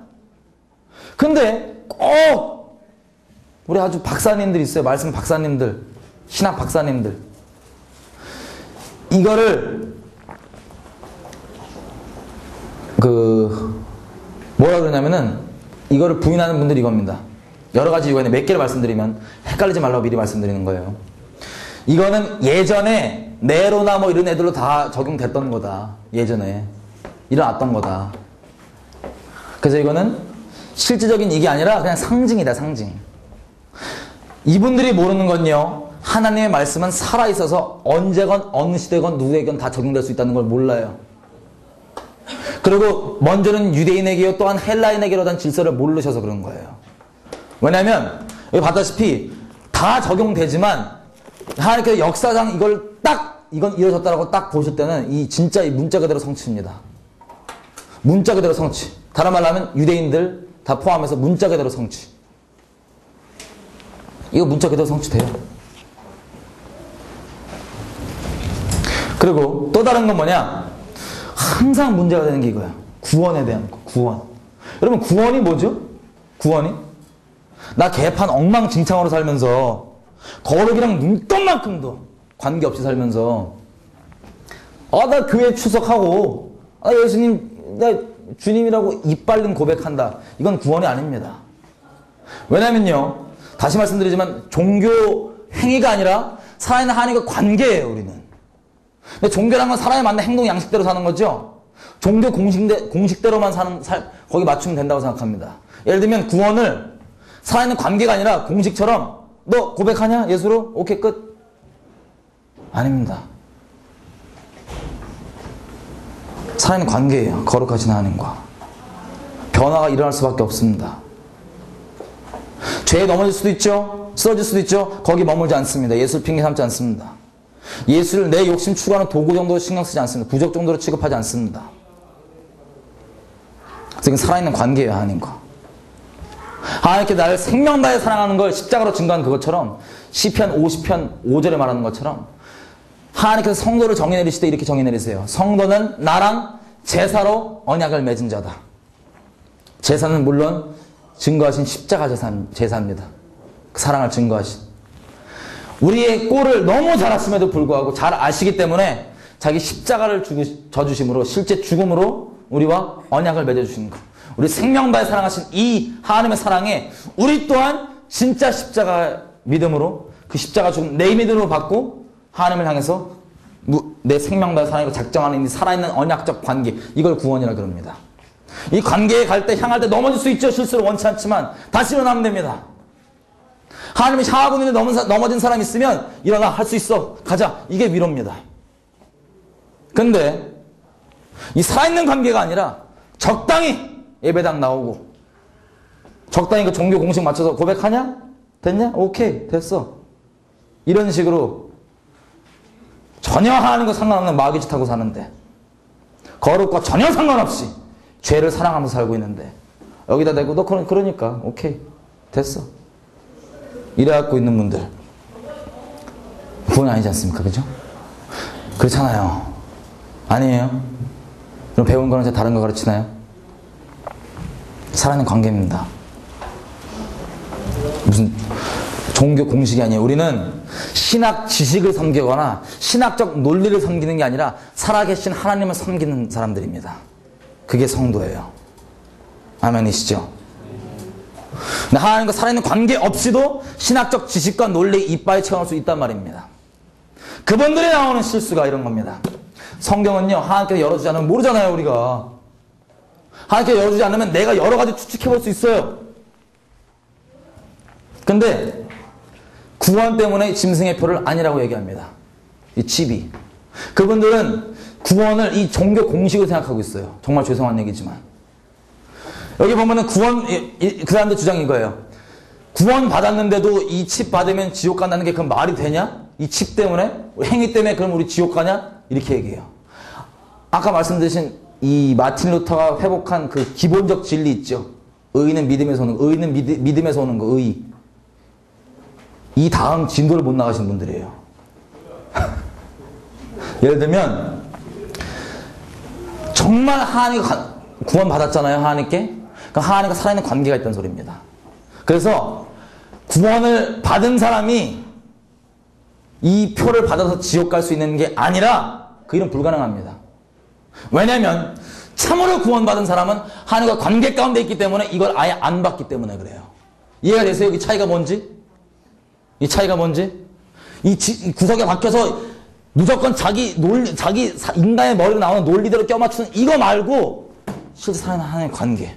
심플해요. 논쟁하지 말고 물어보면 돼요, 하나님께. 하나님 말씀하시는 거 믿으시죠? 관계가 있으시고 말씀하신 분이세요. 속지 마십시오. 사람의 미혹을 받지 마십시오. 저도 헷갈리시면 물어보면 됩니다, 하나님께. 그죠? 그래서 이건 실제 매매를 얘기하는 거예요. 상징이 아니라 상징적 의미가 아니라 상징적 의미 예전에 적용되는 것들도 다 가능하죠. 근데 그게 다가 아니라고요. 먼저는 유대인에게요 또한 헬라인에게로라. 말씀은 있는 그대로 데려집니다. 근데 이 짐승의 표인데 중요한 게 이거예요. 올해 아니 작년에 3월 달에 3월 21일 날 오바마 형이 법을 하나 통과시켰습니다. 건강보험 개혁을 했어요. 건강보험법을. 거기에 어떤 조항이 있냐면 이런 조항이 있습니다. 잘 들어보세요. 미국 식약청이 공증한 이종기기 어떤 이종기기냐 데이터를 이 송수신할 수 있는 이종기기를 몸에 인- 이식하는 이종기기를 모든 국민이 다 의무적으로 삽입해야 된다. 아이고 뭐 몸에 넣을 수 있는 이종기기 여러 개 될 수 있죠. 이 건강개혁법만 보면은 문제가 안 될 수도 있어요. 근데 우리가 미국 FDA를 가보잖아요. 그 사이트에 아예 대놓고 나와 있는 거예요. FDA가 공인하고 있는 그 사람의 데이터를 송신할 수 있는 이종 기기는 딱 하나밖에 없습니다. 뭔지 아세요? 제가 지금 계속 말씀드리고 있는 칩입니다. 이 생체 칩. 이 법이요, 작년 3월 21일 이후로 3년 내로 다 시행돼야 되는 법입니다. 3년 내로요. 한마디로, 우리가 미국에 살고 있는 예수님을 똑바로 믿고 있으면 3년 내로 다른 어떤 이, 이, 이게 저지되는 일이 없으면 짐 싸 들고 나와야 된다는 소리예요. 안 믿기시죠? 지금 때에 대해서. 3년 내로 짐 싸 들고 나와야 된다는 소리입니다. 우리가 미국에 있는 성도라면요. 또 스트레스 엄청 받았어요, 저. 너무 스트레스 받았어요. 작년에. 근데 마트로 보면요. 처처의 지진과 기근과 뭐, 뭐 전쟁과 난리와 소문과 소문이 난다고 돼 있죠. 지진, 이, 이 무슨 짐승의 표, 뭐, 뭐, 우리 작년 전쟁 혹시 기억나세요? 전쟁 난리 난 거? 지금도 그대로 유효합니다. 근데 이런 얘기들 나올 때 제가 뭘, 하나님께서 뭘, 마태복음 이 사장 어떻게 열어주시냐면은 하나님은 거룩하신 분이세요. 심판을 원치 않아도 심판할 수밖에 없는 분입니다. 거룩하시다는 게 뭐냐면 존재가 거룩하셔서 죄랑 섞일래야 섞일 수 없어요. 거룩하신 분은. 죄랑 있으면 죄는 그냥 박살나버려야 됩니다. 무조건. 어둠에 빛이 가면 어둠이 박살나는 것처럼. 거룩하신 분이에요. 근데 이분이 거룩하지 않다가 평상시에 잠깐만 나 거룩해야지 그랬다가 어, 죄를 깼다가 갑자기 어 나 괜찮아 다시 거룩 모두 돌입 이렇게 할 수 있는 게 아니라 존재가 거룩하다 죄랑 섞일 수가 없어요. 존재 자체가. 죄는 심판할 수밖에 없습니다. 용서하시지만 심판할 수밖에 없습니다. 죄에 대해서. 근데 이 마지막 이때 곳곳에 죄들이 관영하잖아요. 하나님께서는 이 사회적 심판을 볼 때 틀이 있습니다. 성경이 밝혀놓은 로마서 1장이에요. 로마서 1장. 로마서 1장 보면요. 하나님께서 이 어떤 문명을 참을 수 있는 한도가 현상적으로 나와 있습니다. 첫째, 하나님이 살아계신 분인 줄도 알아. 근데 이분이 마땅히 있어야 되고 합당한 주인 자리에 있는 게 아니라 다른 하나님 주인 자리에 놓지 않는다. 그러면 하나님은 말고 다른 것들, 다른 것들, 금수와 버러지 영상 아니면 하나님 아닌 다른 것들, 내 욕심, 다른 것들이 내 주인 자리에 딱 앉게 돼요. 그럼 하나님조차도 내, 내 욕심 자리, 주인 자리에 앉아있는 이걸 위해 추구하는 도구일 뿐입니다. 이렇게 돼요. 하나님께서 항상 우리가 두 마음 얘기하잖아요. 두 마음 품지 말라고. 하나님 우리 신랑이신데 예수님 믿는다는 건 결혼했다는 얘기인데 가늠하지 말라는 얘기입니다. 하나님 있어야 될 그 신랑 자리, 주인 자리에 있어야 되는데 다른 걸 두지 말라는 얘기입니다. 두 마음은 가늠이에요. 영적 가늠. 근데 하나님을 신랑 자리, 주인 자리에 두지 않고 다른 걸 뒀다. 그럼 영적 가늠이에요. 영적으로 가는 음란 하고 이런 건 다 육체랑 다 하나입니다. 따로 생각할 필요 없어요. 하나예요, 다. 다 상호적이에요. 그래서 육체 가늠을 시작하잖아요. 하나님 아닌 다른 걸 두잖아요. 그 주인 자리에. 그러면 바로 나오는 게 육체적 음란함입니다. 음란함. 그 중에서도 하나님 상실한 마음감들을 내버려두면 그 다음 이어지는 게 동성애입니다. 그 다음에도 그냥 내버려두고 회개하지 않고 그대로 있는다. 그러면 나오는 게 동성애뿐만 아니라 우리가 어릴 적에 내 스스로 개인적 양심만 세상에 말하는 거 말고 내 개인적 양심만 안 속여도 이거 내가 어기면 끝장난다는 거 아는데도 불구하고 이런 것들을 옳다 옳다고 부끄러 부끄러워하는 게 아니라 이제 당당하게 나와서 이거 옳다 옳다 하는 거 동성애뿐만 아니라 이런 이런 모든 것들을 이게 하나님께서 문명을 참을 수 있는 마지막 한도입니다. 모든 문명은요, 여지껏 인류에 존재했던 과학의 진보는 다 틀려요. 하지만 이 멸망 당하기 전까지, 심판받기 전까지 모양은 똑같습니다. 헬라가 그렇고요, 로마가 그렇고요. 밤, 뭐 폼페이가 어디건 다 이스라엘 자체도 마찬가지고요. 이 하나님께서 문명을 마지막 참을 수 있는 한도, 현상적으로 볼 때 한도입니다. 근데 지금 여러분 아시겠지만 세계 곳곳 가운데 지진과 기근과 전쟁과 이런 것들이 급격히 막 쏟아지기 시작했습니다. 까닭 없이 아무 일도 임하지 않습니다. 아모스 3장에 보시면 하나님께서 분명히 말씀하시기를 나는 무슨 일을 할 때 성읍에 해일을 도시에 해일을 쏟건 어떤 일을 하건 지진을 나게 하건 어떤 일을 행할 때 나는 항상 내 종들에게 먼저 얘기를 한다. 왜냐면요, 이분 거룩하셔서 심판할 수밖에 없지만 심판을 원치 않기 때문에 계속해서 심판 전에 자기 종들에게 이 비밀을 말해서 외치게 합니다. 회개하라고, 돌이키라고. 심판을 원치 않으니까. 만약에 어떤 사람이 누굴 때리는 게 목적이면 말 안 하고 가서 후드러 때려버려요, 그냥. 그게 때리는 게 목적이면. 때리는 게 목적이 아니다 보니까 때리는 거 정말 원치 않아서 그 전에 계속 주변 사람한테 얘기합니다. 이 하나님 마음이에요. 그래서 곳곳에 일어나는 지진과 기근과 이 마태복음 24장에 말하고 있는 이, 이것들 있죠. 이것들은 다 하나님의 심판입니다. 근데 이때 어느 나라건 어느 민족이건 어느 지역이건 이런 일들이 일어나기 전에 하나님께서 그 종들을 세워서 외치게 하십니다. 근데 정직히 반응한 사람들은 듣고 돌아와요. 왜냐하면 이 마태복음 24장에 말하고 있는 이것이 재난의 시작이라 말할 때 원어적으로 해산의 고통이 시작됐다고 말하는 겁니다. 해산의 고통 너무나 괴로워요. 힘들어요. 하지만 그때는 너무 힘들지만 애가 나오면 이 기쁨 때문에 이 힘들었고도 다 잊어버릴 수 있습니다. 예수님 말씀하신 바대로. 근데 이게 뭐냐면 하나님께서 다시 말해 흔드는 겁니다. 하나님이 속해 있는 사람들을 내가 이제 곧 다 왔다. 정신 차려라. 깨어있어라. 내가 왔다. 고개를 들어라. 깨어라. 이게 하나님이 깨우신 신호입니다. 계속해서. 지금 곳곳 가운데. 우리나라 전쟁 심판 가운데 있는 것도 마찬가지예요. 수많은 사람들이 멸시하지만 죄송합니다. 진리는 다수결이 아니에요.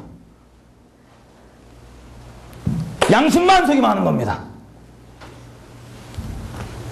함께 오시는 거예요. 너무 감사하게. 그래서 크게 두 가지 반응이 나옵니다. 이렇게 곳곳에 지진과 기근을 하나님께서 깨우실 때 이걸 통해서 하나님에게 속해 있는 사람들, 잠자있던 영혼들은 깨어서 바짝 정신 차립니다. 아! 우리 주님 오실 때가 다 됐구나. 할렐루야. 고개를 듭니다. 하지만 여전히 하나님께 속해 있지 않는 사람들은 멸시하고 넘어가겠죠. 함께 오시는 은혜입니다, 사실은. 은혜예요. 심판할 수밖에 없지만 깨워주신 하나님 은혜예요. 이때 제가 이 모든 천국 복음이 모든 민족에게 증거되는 걸 다시 넘어가서 이 이해 위에 너무 스트레스 받았어요. 너무 스트레스 받아요. 인정하기 싫었어요, 솔직히. 더 거기다가 이 복음이 어떻게 마지막에 확 증거되는 걸 방법을 깨닫게 해주는데 제 생각하는 제 인간적 종교 공식대로 step by step이 아니었습니다. 어느 때인지 저도 정확히 모르겠어요. 한방에 일어날지 점차적으로 일어날지 모르겠어요. 아마 점차적인 것 같아요. 예전에는 선교를 그렇게 가라고 가라고 해도 그 안 가던 그 인간들 있죠. 그 인간들이 이 수많은 하나님의 흔드심을 통해서 깨어나잖아요. 그러면 가라고 가라고 했던 그 인간들이 이제는 누가 등 떠밀어서가 아니라 어린 양이 인도하시는 대로 지진과 기근과 전쟁과 특별히 이, 이, 이 생체칩 이런 거 일어, 일어나기 전에 다 지가 자발적으로 오지로 주님 따라서 가게 됩니다. 예전에는 이 예루살렘 교회가 흩어지고 크게는 이스라엘 나라가 흩어져서 복음이 터- 흩어졌던 것처럼 마지막에 하나님께서 복음을 전하실 때는 step by step으로가 아니라 하나님께 속해 있는 수많은 전 세계에 있는 하나님의 순결한 사람들이 때가 참에 동시에 오지로 구석구석으로 나가게 됩니다. 이런 것들을 피해서. 그래서 하나님의 복음이 그렇게 급진적으로 확 전해집니다. 할렐루야. 자, 여러분께 마지막 도전 좀 드릴게요.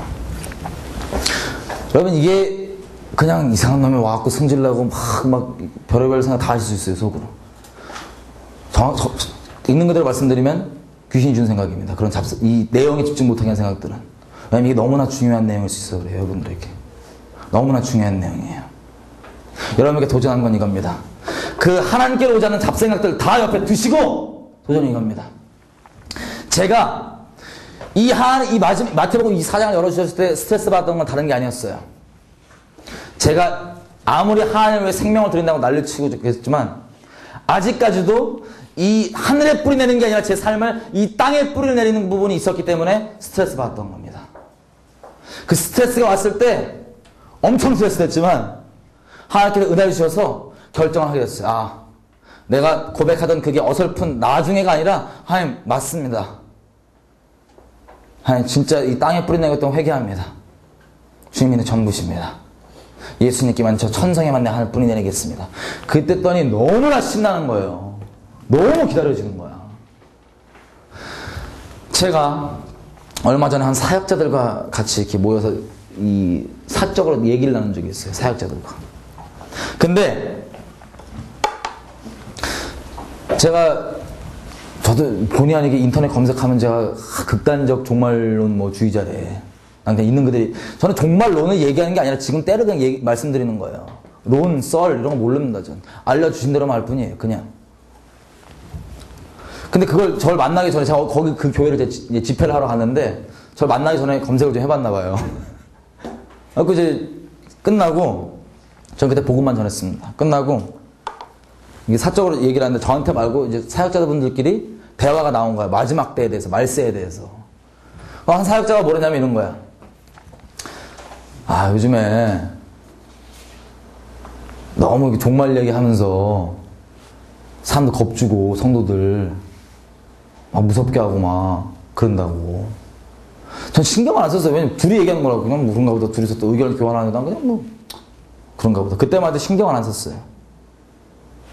근데 제가 그날 밤에 집에 돌아가서 밤에 하나님께서 갑자기 자기 마음을 조금 나눠주시는데 제가 우느라고 잠을 못 잤습니다. 여러분 복음 있죠 복음. 복음에는 개개인적으로 이미 개인의 종말이 포함되어 있어요. 더 이상 죄를 추구하는 나를 위해 사는 게 아니라 나 예수님만을 위해 살겠다. 이 땅에 썩어 없어질 가치관 때문에 내가 움직이고 그런 게 아니라 내 진리만 쫓고 살겠다. 이게 복음입니다. 그 십자가 심판 내 것을 믿음으로 받아서 더 이상 나를 위해 안 살겠다. 갈라디아서 2장 20절의 기본 고백으로 들어있는 그거. 이게 복음입니다. 그래서 복음은 어느 때건 간에 개인적으로 전해질 때 개인적 종말이 포함되어 있습니다. 순교는 따로 한 게 아니에요. 복음에 포함되어 있는 겁니다. 그게 온전한 복음이라면. 근데 대체 우리가 무슨 복음을 얘기하고 다니고 무슨 복음을 듣고 나누고 우리가 예수를 통해 뭘 추구하길래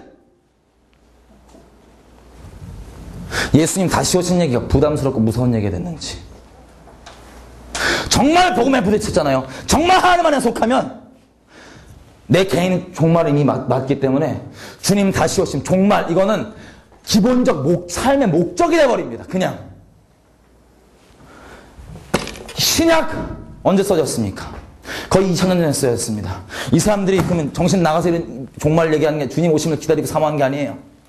개인적으로 다 복음을 똑바로만 부딪혔다면, 똑바로만 복음을 전해졌다면, 개인 종말을 포함하고 있기 때문에 지금 다시 오심이 기본적 목적이 돼버립니다. 기쁜 소식이 돼버린다고요. 내가 이렇게 사모하는 신랑을 곧 보는구나. 근데 세상은 둘째 치고요. 하나님의 순결한 신부라고 하는 교회가 대체 뭘 추구하고 무슨 복음을 듣고 어떤 예수를 믿길래 주님 다시 오다는 얘기가 무섭고 부담스러운 얘기가 되는 거라는 겁니까? 누가복음 21장에 이렇게 분명히 하나님 예수님께서 나눠 주십니다. 뭘 나눠 주시냐면 이 말세에 두 종류의 사람들이 가질 태도에 대해서 나눠 드립니다. 첫째, 하나님과 상관없는 사람들은 이 소식이 그저 두렵기만 합니다. 두려워서 기절할 정도로, 졸도할 정도로 기절해 버립니다. 둘째, 하나님께 속한 사람들은 고개를 듭니다. 고개를 들고 때가 가까웠구나. 기대하게 됩니다. 주님 오실 걸. 제 질문이 갑니다. 예수님께서 누가 보면 이렇게 말씀하셨죠. 내가 다시 왔을 때, 다시 왔을 그때 이 세상에서 믿음을 내가 볼 수 있겠느냐? 여러분에게 질문 드립니다. 이 소식을 무시하지 않으셨다면 여러분의 심정은 어떻습니까? 두렵습니까? 떨리십니까? 정상입니다. 주님께 속해 있는 분들 신날 겁니다. 지금 여러분이 어떤 마음 느끼고 있냐 이거 이거를 묻는, 묻는 게 아니라 우리가 중요히 집중하고 싶은 건 이겁니다. 지금은 여러분이 기쁘건 두려울지건 상관없이 앞으로는 어떻게 하겠습니까? 이게 지금 여러분에게 드린 도전입니다. 수많은 배도가 일어날 거예요. 이미 영적으로는 진작에 일어났습니다. 왜냐하면 이 복음 바꿔먹었기 때문에. 그죠? 예수 내가 이따가 잘 먹고 잘 사는데 내가 사람에게 인정받고 세상에서 동일하게 추구하고 싶었던 내 욕심, 내 죄성 그냥 기독교라고는 하 필드만 바꿔서 여기서 종교의 모양 갖고 추구하는 그대로 한 그 부적같이 그 도구로 내 나를 추구하기 위한 그 도구로 어느 정도 조건대로 이루어지면 내가 믿어주고 아니면 안 믿어. 정신 나간 지옥같이 탈 건가 계속. 아니면 진짜 주님이 내가 어떤 존재인지 남에게 보이는 내 얼굴 말고 나 혼자 있을 때 사람 시선 없을 때 체면 법적인 태도리 없을 때 남들에게 참아 못하지만 내가 정말 내 안에서 반응하고 자연적으로 반응하는 이 죄성, 이 어두운 거다 알고도 나를 사랑하는 그래서 십자가를 주신 그 사랑 가운데 내가 동일한 강도로 반응할 건가? 하나님께서 우리에게 완전한 사랑을 주셨습니다. 친구가 친구를 위해 생명 내어준 것보다 더 큰 사랑이 없습니다. 우리를, 친, 우리를 위해 친구로서 이 모든 하나님 행하실 일들을 그대로 알려주셨고 친구로 불러주셨습니다. 생명을 내어주셨습니다. 하지만 여러분에게 동일하게 하나님께서 요구하십니다. 이 완전한 사랑 가운데는 완전한 사랑만이 반응될 수밖에 없습니다. 그래서 하나님의 성도는 이 십자가 제사로 언약을 맺은 자만 정말 죽음과 죽음이 부딪힌 이 사람만이 하나님과 관계를 맺을 수 있는 겁니다. 언약이라고 하는 것, 테스트먼트라고 하는 것, 유언이라는 뜻입니다. 더 구체적으로 얘기하자면 죽음이 포함되어 있는 거예요. 죄의 삭은 죽음입니다. 우리 자신에 대한 죽음이 필요합니다. 우리 힘을 할 수 없습니다. 주님께 도움을 구할 수 있습니다. 진심일 때. 그래서 지금 보면 태도를 정리하고 끝내겠습니다. 다 마지막 된 거 우리가 알아요. 마지막 때인 걸 알고 종말인 걸 알면서도 이 안에서 또 태도가 두 개로 나눠집니다. 여러분 어디에 속한지 계속 질문해 보십시오. 태도가 또 나눠집니다. 어떻게 나눠지냐? 종, 곧 휴거가 있을 겁니다. 우리 사단이 아주 노련하게 잘하는 게 뭐냐면 이 종말 말세, 휴거, 성경에 나와 있는 거고 분명한 것에도 불구하고, 물론 휴거라는 단어는 없습니다. 근데 이거에 대해서 얘기만 하면 일단 색안경 끼고 보게 아주 예전에 선방을 잘 때려놨습니다, 우리한테. 하나님께서는 그 오시는 그 정확한 때, 또 이스라엘 나라가 회복될 정확한 때를 알 바 없다고 하셨지, 종말에서 항상 깨어서 도둑처럼 맞지 말라고 돼 있었습니다. 하나님 말씀하시는 거예요. 이런 게 되는 걸 보거든 니네가 날씨 보고 날짜, 내일 어떻게 될지 알지? 이런 게 보거든 너희 때가 가까운 줄 알라 고개 들어라 곧 다 왔다 내가 곧 다 왔다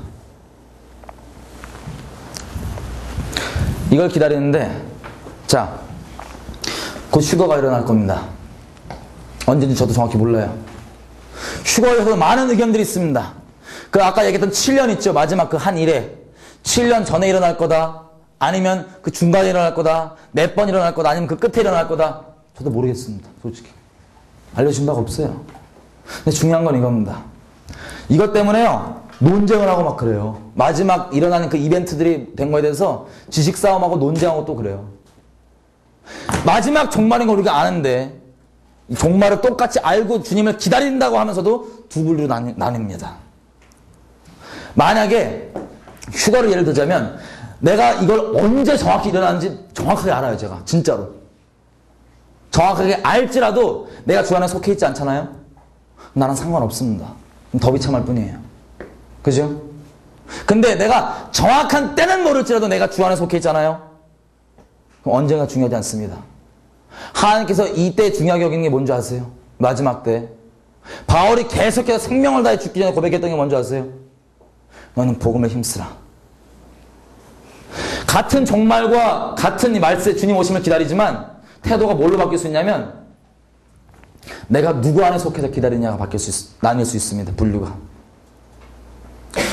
주, 주 안에 속해 있지 않고 그냥 이기심 때문에 아 나 대충 나 빨리 끝나고 갈래 하여튼 모르겠어 나, 난 천국 가버릴래 어떤 마음이든 정말 주님 안에 있는 게 아니라 그냥 또 자기 또 다른 이기주의로 기다리고 있는 분들은 같은 종말이고 같은 휴가고 여러 가지지만 이런 태도가 나옵니다 하나님께 속해 있지 않는 사람들 보고 저것들 됐어 저것들 뭐 있어 보라 그래. 난 혼자 올라가고 난 혼자 그냥 주님 안에 잘 있을 거야. 저 지옥 가라 그래. 논쟁하고 막. 이건 이렇게 돼 저렇게 돼. 쓸데없는 짓거리입니다. 하지만 정말 주님 마음에 있는 사람들은 하나님이 한 영혼 한 영혼을 얼마나 사랑하시는지 알기 때문에 거기다 또 때가 가까운 걸 알기 때문에 정말로 힘써 복음을 전하게 됩니다. 정말로 세월을 아끼게 됩니다. 정말 복음을 힘쓰게 됩니다. 왜냐하면 하나님께서 얼마나 영혼도 사랑하는지 알기 때문에요. 때가 가까웠기 때문에 마치 에녹처럼요. 에녹처럼. 신랑 오기를 기다리는 열 처녀의 비유가 있죠. 열 명 다 처녀 다 신랑을 기다립니다. 근데 차이가 다섯 명 다섯 명 차이가 있어요. 여러 가지 해석도 있겠지만 이 하나님 마음 안에 거하고 있느냐 안 있느냐. 우린 뭘 하느냐 하나님께서 우리 뭘 하느냐에 감동받지 않으세요. 뭘 하든 왜 하느냐에 감동받으십니다. 여러분의 질문이에요. 종말과 전혀 상관없이 이 개인적 복음 하나님과 정말 이 언약 관계 들어오지 않은 분들 혹시 있다면 오늘 그 언약 관계 들어오셔야 됩니다. 언약 관계 들어오셨는데 땅에 뿌리 내리고 있어서 아직 주님 신랑이 오시는 이 소식이 진짜 기쁜 소식이 아니라 두려운 소식으로 들으시는 분들은 오늘 태도를 정하셔야 합니다. 그리고 원래 종말을 기다리셨지만 그 중에서도 정말 하나님 마음으로 기다리는 게 아니라 그런 이기심 가운데 기다렸다면 오늘 태도를 정하셔야 합니다. 왜냐하면 주님이 정말 곧 오시기 때문입니다. 다니엘서 그 70일에 말하고 있는 마지막 그 성전 있죠. 예루살렘에 지금 성전이 없습니다. 지금 이스라엘 전 세계 테러가 영토적 이유를 따지면 이스라엘입니다. 이스라엘 때문이에요. 영토적 이유를 치자면. 근데 그래서 그것 때문에 서구 쪽 나라들은 정치인들이 나올 때 중동 정책을 어떻게 할 거냐 되게 중요하게 생각합니다. 이미 예루살렘 이스라엘에 팔레스타인과 이 분쟁이 일어난 이것을 위해서 평화 조약일 수도 있는 그 어떤 평화 solution을 내놨습니다. two state solution이라고. 이게 평화 조약일지 아닐지 모르겠어요. 하지만 이걸 통해서 이 이슬람 쪽에서 내거는 은근히 공식적이지 않지만 은근히 뒤로 접촉하고 내걸고 있는 조건이 뭐냐면 예루살렘에 제3성전을 지어주겠다는 약속입니다. 정말 두려운 뜻 알고 있어요. 이게 소문으로 끝날지 성전 짓는 것, 더 연기가 될지 바로 될지 이게 평화 조약일지 아닐지 모르겠습니다. 대발 알겠죠? 또 한 가지 오바마가 그 이미 통과시킨 그 법 이게 지금 위헌 판정이 났습니다. 이게 대법원까지 올라가서 위헌 판정이 나면 연기가 되는 거예요. 3년 내로 그 안 박아도 되는 거예요.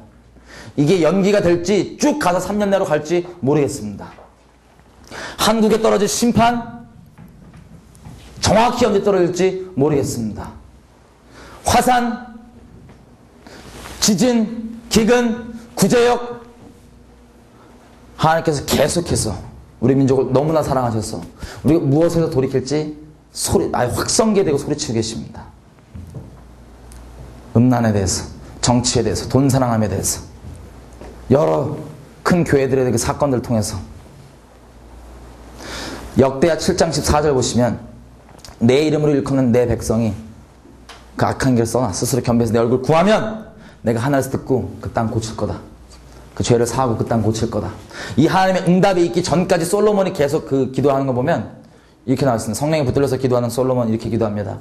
혹시 우리의 죄 때문에 온역이 일어나고 뭐 경제가 파탄나고 뭐 어떤 우리 도시가 다른 나라들이 와서 적국이 와서 둘러싸고 이런 일들이 일어난 걸 보거든 이게 우리 죄 때문인 걸 깨닫고 성소로 그제서야 돌이켜 손들고 기도하고 회개할 때 하나님 우리를 기도 들어주십시오. 그에 대한 하나님의 응답이 내 이름으로 일컫는 내 백성이 역대 7장 14절입니다. 하나님께서 우리를 너무나 사랑하셔서 여러 가지 일들로 계속해서 뭘 회개할지 분명하게 교회 가운데 계속 말씀하십니다. 귀 있는 점 들으시고 깨셔야 합니다. 기도, 좀- 기도 좀 했으면 좋겠습니다.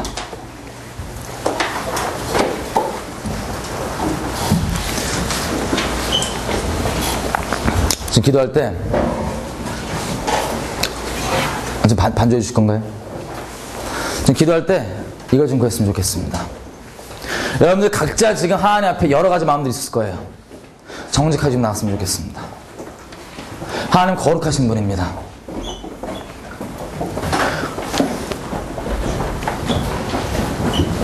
혹시 하나님의 언약 가운데 들어와 있지 않았던 분들은 한마디로 구원 가운데 구원 받은 줄 알았지만 구원이 있지 않았던 분들은 하나님 살아있는 관계에 있지 않았던 분들은 오늘 들어가셔야 됩니다.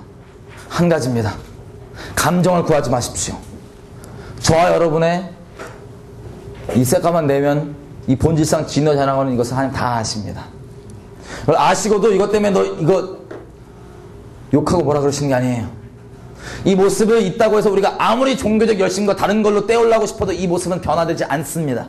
그대로예요. 하나님은 심판대 앞에 이 새까만 얼굴 그대로 설 겁니다. 그걸 원치 않으세요. 그래서 하나님께서 우리에게 생명을 주셨습니다. 혹시 언약 가운데 나오지 않았던 분들은 내가 그런 엉망 죄인일 때 하나님께서 나를 위해서 생명을 다해주는 그 십자가를 추상이 아니라 관념이 아니라 실제로 받아들임으로 하나님 나 또한 이제 내가 나를 위해 살지 않겠습니다. 내 계획 내 어떤 거 다 없이 하나님께서 내 참 주인 되어 주십시오. 내 삶을 인도하시고 내 꿈 내 어떠함이 아니라 하나님 뜻대로 살게 해 주십시오. 마지막 때 하나님 마음 쫓아 살게 해 주십시오. 종교가 아니라 관계로 좀 초청해 주십시오. 내 생명 전부 되어 주십시오. 순교 따로 하는 것 아니라 내가 지금 내 생명 안에 내어놓습니다. 내 삶을 인도하십시오. 나에게 아들까지 주셨으면 뭘 나쁜 걸 줄 수 있겠습니까? 당신을 믿기 때문에 내 삶을 드릴 수 있는 겁니다. 이게 구원 없는 믿음입니다.